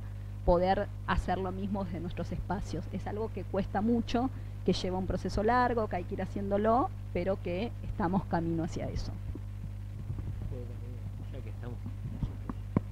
No, pensaba un poco en lo que decía Ezequiel recién, un poco en la respuesta de Florencia y en la comodidad que me da a mí de nuevo, ser codirector, ni siquiera tener toda la responsabilidad de una colección que saca seis libros por año, de una editorial universitaria que toma otras decisiones que yo no soy autor. Y entonces vuelvo sobre este punto. ¿El, libro para qué? En el caso de nuestras tesis, que muchas veces tienen esa pretensión, o sea, o, están cruzadas intervenidas por un debate de carácter público, en el origen eso nos condujo hacia la investigación, hacia el tema, el objeto, la pregunta. Fuimos consecuentes con eso y producimos, produjimos la, investigación, hicimos la tesis, terminamos, nos costó mucho, no es, no es el denominador común terminar la tesis y demás. Por ahí el pasaje al libro justamente tenga que hacer esa limpieza de los evaluadores, o sea, sacarse de encima el jurado, el comité, pero también sacarse encima el CONICET por, ahí esa también es la otra expectativa, porque me parece que en la medida que sacamos jurados evaluadores, pero el CONICET sigue ahí como esperando que el CONICET me reconozca el libro como un artículo, por ahí no, efectivamente el, libro tiene otra función, que es justamente el impacto en el debate público. Entonces es muy difícil esa mediación, es sacarle el estado la cuestión, pero dejarle las citas porque por ahí el CONICET me lo evalúa. Entonces por ahí es, esa es otra dimensión más, diciendo, bueno, efectivamente tengo que hacer los cuatro artículos, debo de convertir los cuatro artículos y la vez hacer el libro. El libro es hacer otra tesis, es un año de trabajo, básicamente. Convertirlo no es, todo esto que estamos diciendo no es fácil, no se hace en un fin de semana lluvioso. Entonces, digo, implica hacer un esfuerzo, implica hacer ese trabajo, implica ponerse el trabajo al hombro. Em, y entonces, por eso digo, si, si, seguimos por ahí pensando que está bien que el CONICET en algún momento nos tenga en cuenta esto, pero si el objetivo es otro, es la intervención en el debate público, podemos carecer del CONICET yo hago miles, yo soy investigador del CONICET, independiente, no importa, pero hago miles de cosas que el CONICET no me va a evaluar. Dirijo una colección de libros digitales. Le dedico un montón de tiempo a esto. Y es cero al CONICET eso. A mí me encanta lo que hago. Y bueno, es eso. Pero no, pero empecé cuando. Sí, sí, pero cuando. pero quiero decir, empecé, eh, empecé, a dirigir la colección 2015, no me acuerdo si ya era asistente adjunto, pero lo que digo es, así como esto, eh, muchas cosas que uno hace porque tiene la voluntad de hacerlas y el CONICET no, después no las evalúa. Entonces, por eso digo, obviamente que hay que dar esa pelea, no digo que no hay que darla, pero mientras tanto, digamos, uno convierte el libro porque nuestros temas están muy cruzados por el debate público. Bueno, queremos decir algo. Solo una, una aclaración respecto de algo que, que dijo Manuel eh, en, la, en la primera parte, que vos decías, bueno, eh, sobre la tesis hay como muchas operaciones de transformación que hacer, ¿no? Ahora, no perdamos la investigación, no perdamos el, enorme trabajo que hubo ahí, la energía, el deseo sostenido durante años. Eh, y acá, no, simplemente que un poco también retomando lo que decía Fernanda, que en ningún caso se trata para nosotros de que eso se pierda, al contrario, sino de que eso eh, se retrabaje, digamos, que también, como vos decías recién, no se hace en un fin de semana, es un tiempo, digo, son por ahí, es un año, dos años de trabajo. Eh, por eso después nosotros eh, lo, que, lo que conversamos mucho con los autores, autoras que, hicieron ese, ese esfuerzo enorme, es que confíen en nosotros para que ese esfuerzo valga la pena en el sentido de que el libro circule y se lea, por eso queremos como, como construir ese vínculo que nos permita conversar de los títulos, conversar de los subtítulos, por ahí em, nunca tomándonos licencias que los autores sientan abusivas, es decir, que la decisión editorial eh, siempre escucha lo que los autores tienen para decir, eh, pero que confíen en nosotros, ¿no? En ese punto. Pero, pero porque es también como valorar ese tiempo enorme destinado a la escritura, de la tesis primero y del libro después. Y después, respecto también de la valoración enorme al trabajo de investigación, eh, para los editores, que un libro haya tenido ese origen, insisto, vuelvo a decir, e, es un, nos da confianza, nos da tranquilidad. E incluso muchos de los libros que eh, nosotros, que están planteados de entrada como libros de divulgación, pienso, no sé, en Walter Sosa Escudero o en Diego Golombek, en, en el origen, es decir, ambos son investigadores y académicos. Les gusta el registro de la divulgación, pero atrás también hay investigación. Entonces, incluso en esos libros que nosotros, digamos, publicamos por fuera de las colecciones académicas, muchos de los autores, autoras, vienen del campo académico, si no la mayoría. Eh, tenemos, como diría, muy poquitos libros escritos por periodistas. Eh, bueno, eso por ahora. Buenísimo. Eh, solo, quería agregar que, que, ese proceso de, la tesis, de la escritura de la tesis, con todas las penurias que, tiene de por sí ese registro, el pasaje al libro eh, es mucho más disfrutable, digamos. Eh, en mi experiencia, digamos, fue eh, un, disfrute de un año de trabajo, pero, pero, pero se hace con, otros ojos. Pero también pensando en el para qué y en el acompañamiento también de, la editorial, que, es fundamental. Entonces, ese vínculo que, se trabaje me parece que es, fundamental también. Si les parece, juntamos alguna.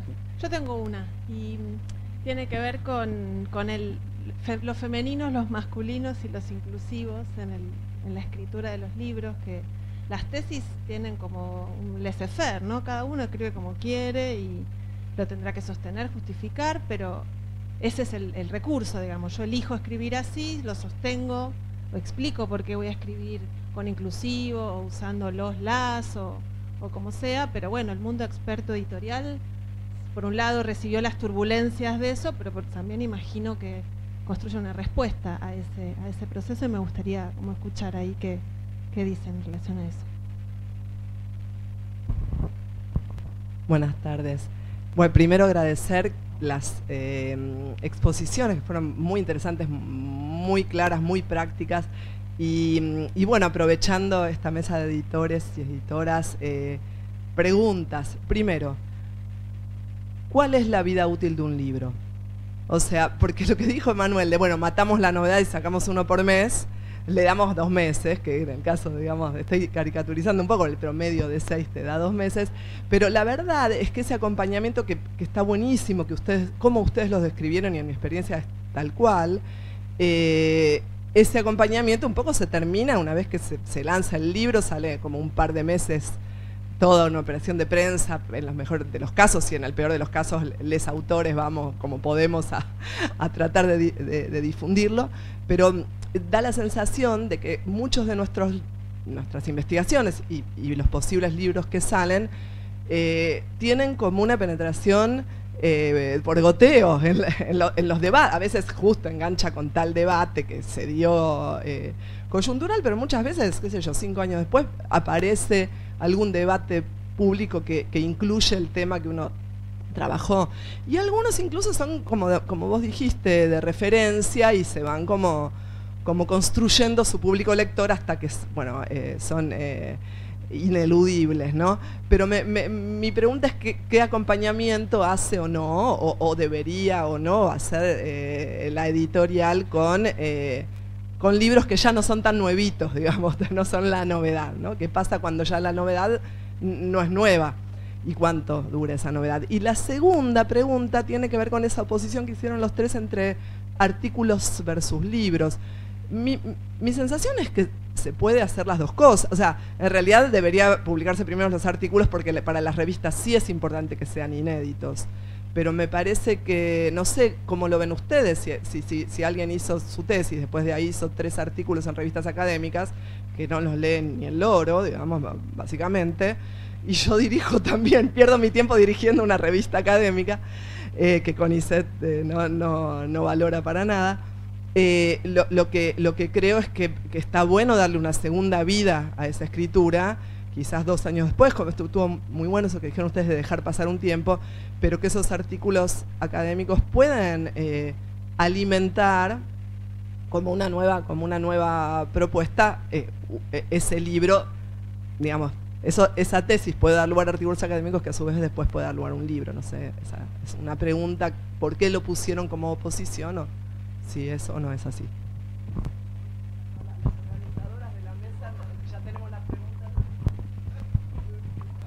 Bueno, buenas tardes de nuevo. Eh, la verdad que espectacular el panel, les agradecemos. Eh, me quedé pensando en varias cosas. Una, bueno, en relación a esto que, problematizaban del para qué, eh, que salía ahí todo el tiempo lo del debate público, pero menos la cuestión de que tiene un valor social el libro, ¿no? Se convierte en un objeto de sociabilidad y salió todo el tiempo esta cosa de la confianza, o sea, confianza en quien te va a acompañar en ese proceso, confianza en quien uno es, porque tiene atrás un, jurado, ¿no? Entonces, que eso me parece interesante para seguir pensando. Y en ese sentido me preguntaba si hay un, laburo, bueno, esto no sé, eh, de las editoriales después, de cómo circulan esos libros, cómo son leídos, efectivamente a qué público llegan o no llegan, y si hay un relaburo en función de eso, y, además la pregunta por el rebote, ¿no? Salió un poco en esto que decía Manuel, pero también me, gustaba como hacer la pregunta a todo el panel, cómo rebota un libro con otro, eh, si rebota más en, eh, si hay una cuestión, cómo se jerarquizan eh, los autores, si autores más nobles o autores que van construyendo un nombre. Bueno, no sé, abrir esas preguntas.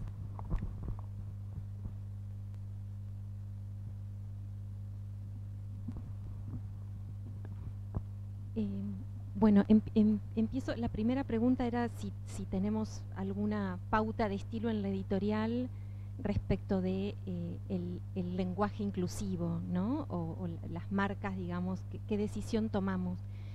Em, lo conversamos, lo conversamos mucho, como no hay una normativa, eh, por lo menos que yo sepa todavía, como taxativa, digamos, de la Real Academia. Eh, y eso es materia de disputa, eh, tampoco queremos como ser, no sé, más papistas que el Papa. Entonces, lo que, lo que hacemos es, eh, no sé, ahora publicamos un libro hermoso de una investigadora joven, que es Lucicha, que el género es el tema del libro. Y entiendo que ella misma está en un proceso de transición, entonces ahí es, esa marca está en el texto, digamos, porque, es, parte del tema del libro. Em, el uso del lenguaje inclusivo. Recuerdo también hace años un libro que publicamos que, coordinó Eleonor Faur, que es Varones y Mujeres en la Argentina actual, y que ahí eh, ella le dio, y lo consultó con, con, el equipo editorial y lo charlamos, libertad a los, los autores que habían, que habían trabajado para, para, ese, para ese libro para que utilizaran la E o utilizaran arroba o digamos aquel recurso con el que se sintieran cómodos, porque también digo, bueno, y otra experiencia que se me ocurre es, nosotros publicamos eh, desde hace muchos años los informes anuales del CELS. Esos informes eh, de derechos humanos en la Argentina siempre tenían como un disclaimer al comienzo donde se aclaraba que eh, para no saturar el texto y entorpecer, digamos, la legibilidad con distintas, eh, distintas decisiones tipográficas, pese a saber y pese a tomar nota, digamos, de que hay marcas de, desigualdad y de marcas de sexismo en el lenguaje, se optaba por facilitar la lectura, eh, minimizando lo más posible el uso del masculino genérico, digamos, pero sin saturar el texto de y, en el último libro que publicamos, en el último informe creo, con el CELS, em, conversamos con ellos y les, y les, eh, y les propusimos, eh, también porque era una inquietud muy fuerte en ellos, ahí sí eh, utilizar, digamos, utilizar el lenguaje inclusivo. y ese libro eh, fue como, como un experimento para todos, ¿no? Eh, lo decidimos de, común acuerdo con ellos. Pero no tenemos ninguna, eh, eso, ninguna pauta, digamos, que apliquemos a, rajatabla. Sí es cierto que estamos todos mucho más sensibles. De pronto cuando tenemos que definir un título, no sé si antes, bueno, teníamos una colección que era El hombre y sus obras, ¿no? Esa colección hoy, eh, digamos, el último libro que publicamos ahí son las memorias de Tulio, Alpe, Tulio Alperindón y un libro precioso. Eh, hoy no, no, no, podríamos, mm, digamos, seguir eh, sosteniendo ese nombre para la colección. y lo mismo títulos que de pronto hace unos años no hacían ruido, como, no sé, El docente universitario. Hoy no, hoy no titularíamos así un libro, lo pensaríamos, pero pero no porque estemos como forzando, porque en, las reuniones donde definimos estas cosas nos, hace ruido, nos, ya, no pasa así como así, ¿no? Eh, bueno, eso es lo que tengo para decir.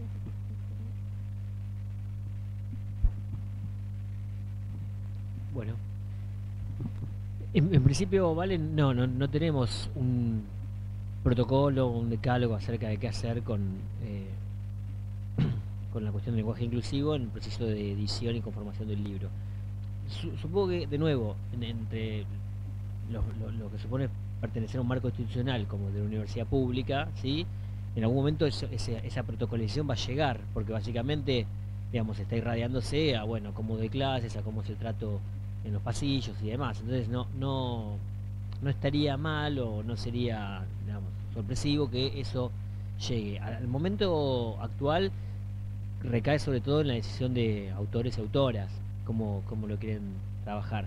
En la mayoría de los casos lo que pasa es lo mismo que el CELS, digamos, en las, introducciones lo que dice, bueno, eh, esta, esta situación eh, respecto de la, manifestación a través del idioma, de ciertas, de ciertas formas de dominación, eh, es real, pero nada, facilito la lectura o opto por esto. pero hasta ahora no, no hemos tenido como muchas... ¿Cómo? Perdón, no hemos tenido como, como, muchos eh, intercambios, tanto con autores, autoras, como, con los departamentos de edición respecto de esto. Pero no me parece que, que, un escenario pronto, si eso vaya a tocarse o a modificarse, y está bien, me parece, es una posibilidad. El tema tiene que ver, de nuevo, eh, a mí me parece una, una interesante, cómo trabajas con autores y autoras una, una lectura amable, llana, y a la vez incorporas estas complejidades que generacionalmente por ahí no son problemáticas, porque nada, de nuevo, mis estudiantes escriben así, hablan así, entonces por ahí para mí es la complejidad, no es para, para todos. Entonces eso, una dimensión. La otra es eh, el tiempo de la duración del libro. Em, no sé, nosotros en la colección no tenemos ningún Cervantes, o sea, no tenemos un libro de quien, no, puedo ver esa, por ahí el de Santi, eh, Garaño o el de Cintia, que está acá presente, autores de la colección, autoras. Em, pero, pero me parece que, de nuevo, son libros que tienen una... Hay una durabilidad que puede ser vinculada directamente al proceso de edición, que efectivamente tiene un momento de, de, apogeo que es cuando sale, eh, pero después efectivamente esa, esa temporalidad se irradia de distintos modos de acuerdo a los temas y qué efecto o qué grado de discusión tienen en el, debate público. Em, Ahí hay ejemplos que son interesantes respecto de, bueno, por ejemplo, cuando se publica un libro vinculado a temas de educación, pienso el de Jessica Villán, pienso el de, el de, eh, Papier o el primero de, de Sandra Rayo, lo que pasaba es que efectivamente un libro traccionaba a todos los otros, ya sea en educación como otros libros. Pero lo mismo de nuevo, cuando se publica un libro sobre eh, X, el movimiento estudiantil, ¿sí? en La Pampa, eh, lo que termina pasando es que quienes acceden descubren ese universo de colección, ese, catálogo, y empiezan a descargar otros libros. Entonces ahí me parece que pasa algo interesante.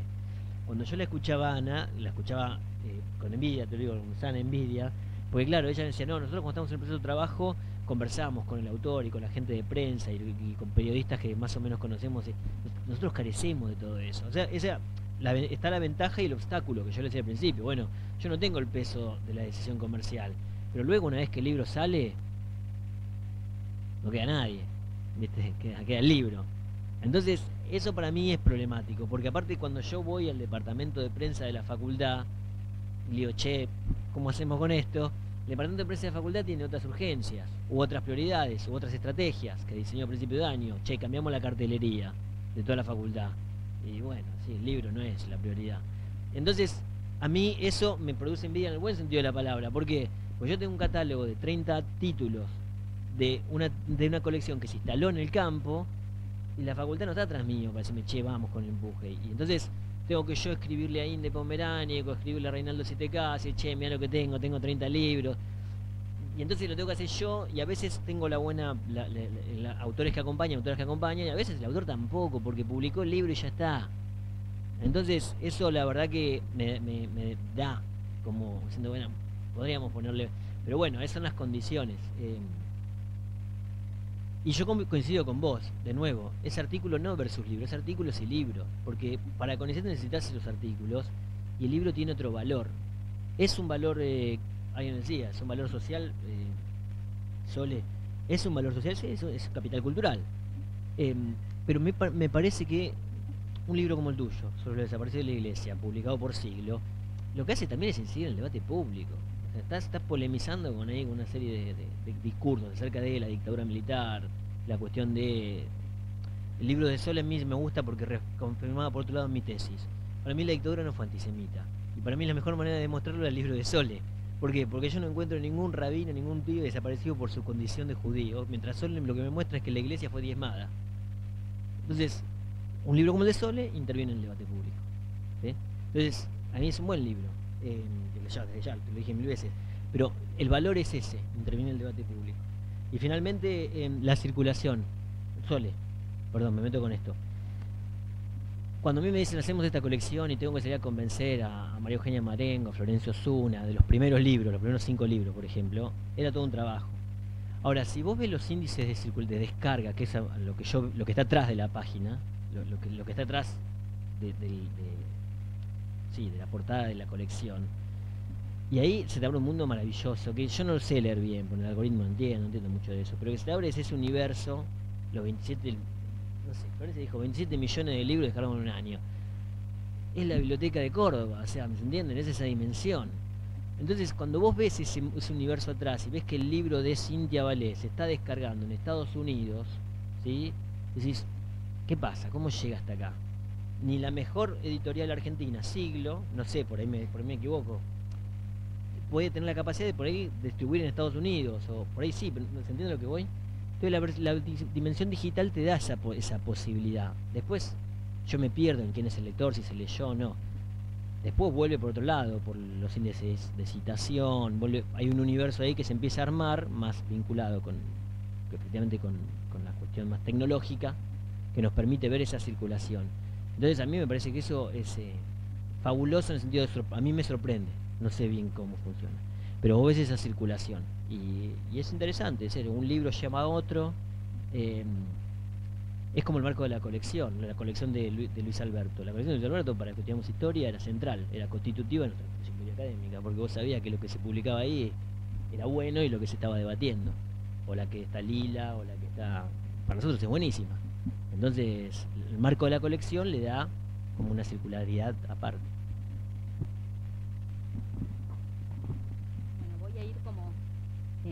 salteando, saltando perdón, por alguno de los puntos. En principio, ¿para qué publicamos? publicamos para tener una mayor incidencia, para intervenir en el debate público e intervenir en el debate público en políticas públicas, en movimientos sociales e intervenir para la transformación social. Al menos desde Claxo publicamos, ese es digamos, nuestro leitmotiv. En relación con la vida útil de un libro, creo que te respondiste a vos misma. Es así, digamos, hay libros que tienen, van a quedar de referencia y van a tener una, una vida útil muy larga y otros que va a ser más corta. En relación con Claxo, nosotros tenemos todos los viernes una novedad editorial, al menos una novedad editorial, porque a veces son varios libros los que se publican en la semana. Y cuando hacemos la novedad editorial, ponemos debajo otros libros a los que les damos esas segundas, terceras, cuartas oportunidades que tienen que ver con o libros de la misma temática, algunas veces con libros que son de una misma colección o con libros que son de un mismo autor. Y eso provoca que se haga una nueva descarga, no sé, publicamos un libro de García Linera y abajo ponemos los otros cuatro anteriores. Y eso provoca que se descarguen miles de veces libros que se habían publicado dos, tres años antes. Entonces eso, por un lado, tiene que ver con la difusión. Pero también se empezó a trabajar ya hace dos años con digamos, unas chicas que están haciendo la prensa de los libros, porque también estamos, además de los libros en acceso abierto, imprimiendo una cantidad de libros, algo que antes no se hacía, y hay una distribución nacional, hay una distribución internacional, y eso también tiene esa posibilidad con la prensa, que es súper interesante porque se puede llegar a un montón de medios, no solo en Argentina, en México, en Colombia, en Chile, estamos explorando toda, toda digamos, esa posibilidad de la prensa que está buenísima.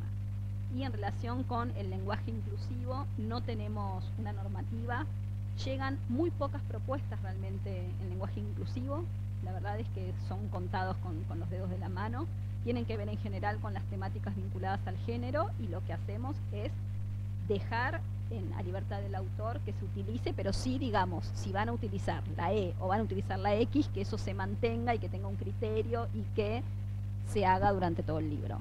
Pero en, la verdad es que son muy pocas las veces que llega un libro, digamos, con, una propuesta de lenguaje inclusivo. Creo que hemos respondido a todas las preguntas, ¿no es cierto?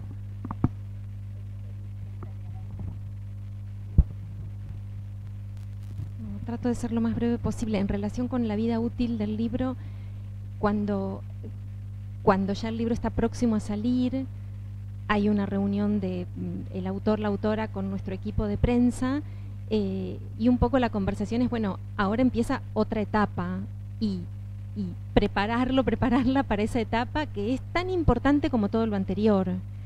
Eh, y en ese sentido nosotros seguimos, es decir, escuchamos, eh, tenemos como, como grupitos de WhatsApp y, leemos en general todo lo que sale publicado sobre los libros, escuchamos las entrevistas, nuestras compañeras de prensa nos mandan los recortes y no las pudimos escuchar, eh, las comentamos con los autores, es decir, seguimos el recorrido del libro. Y después, cada vez que ah, surge algún tema y, consultan a la editorial por algún autor, autora a quien puedan contactar para hablar de ese tema, bueno, ahí también hay consultas internas, bueno, porque no tenemos, es decir, mm, todos los libros en la cabeza y de pronto entre todos vamos viendo que llamen a tal o a tal, ¿no? Como que tratamos como de que mm, de que los libros estén, eh, se activen, digamos, más allá del año de lanzamiento. Es decir, no es que nos ocupamos de los libros uno, dos, tres meses después de que se lanzaron, sino que tratamos, eh, en la medida en que, en que podemos, de activarlos cada vez que surge la, la, oportunidad. Y después tenemos gacetillas, que cada 24 de marzo nuestra gacetilla también reúne todos los libros que hemos publicado eh, ligados a la, memoria eh, del golpe,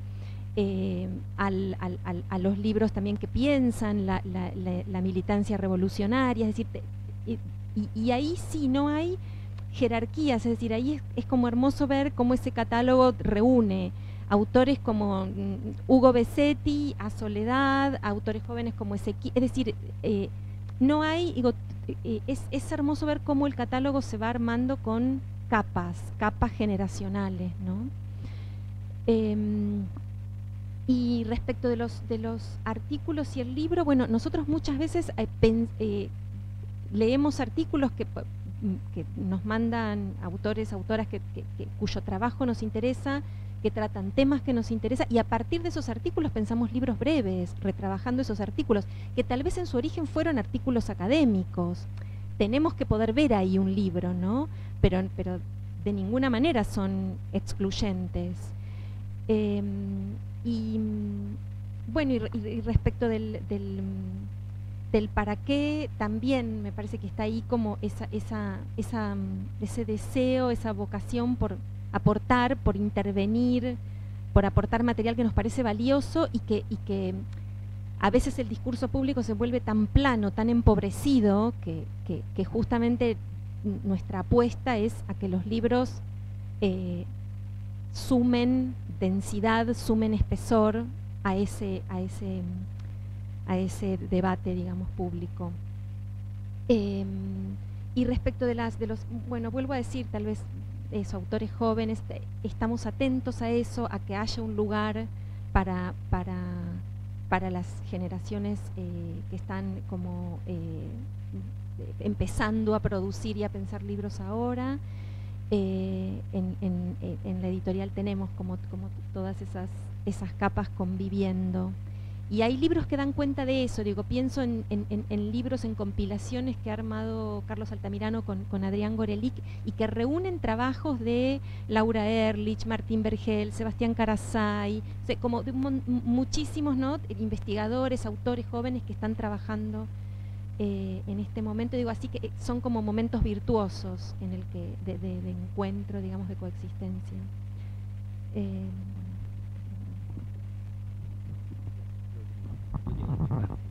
Me quedé pensando en la en el título de la, del panel. La tesis no es un libro, pero el libro no mata la tesis. ¿Sí? Eso me parece que también tiene que estar claro. La tesis no es un libro, pero el libro no mata la tesis. Están ahí, conviven los dos textos. El que quiere... el, que, el que quiere buscar la cita precisa, el estado de cuestión, la metodología, tiene donde ir a buscarla. Entonces, lo que hay que asumir cuando pasemos ese pasaje es la aventura de escribir otro texto. Con lo que seguimos otro texto. Y eso es, como dijiste vos también, es una aventura, hay que tomar decisiones, hay que, hay que escribirlo, pero la tesis queda, ¿sí? lo borra, no estoy borrando, estoy agarrando el mismo archivo, agarro otro archivo ¿sí? y escribo un libro.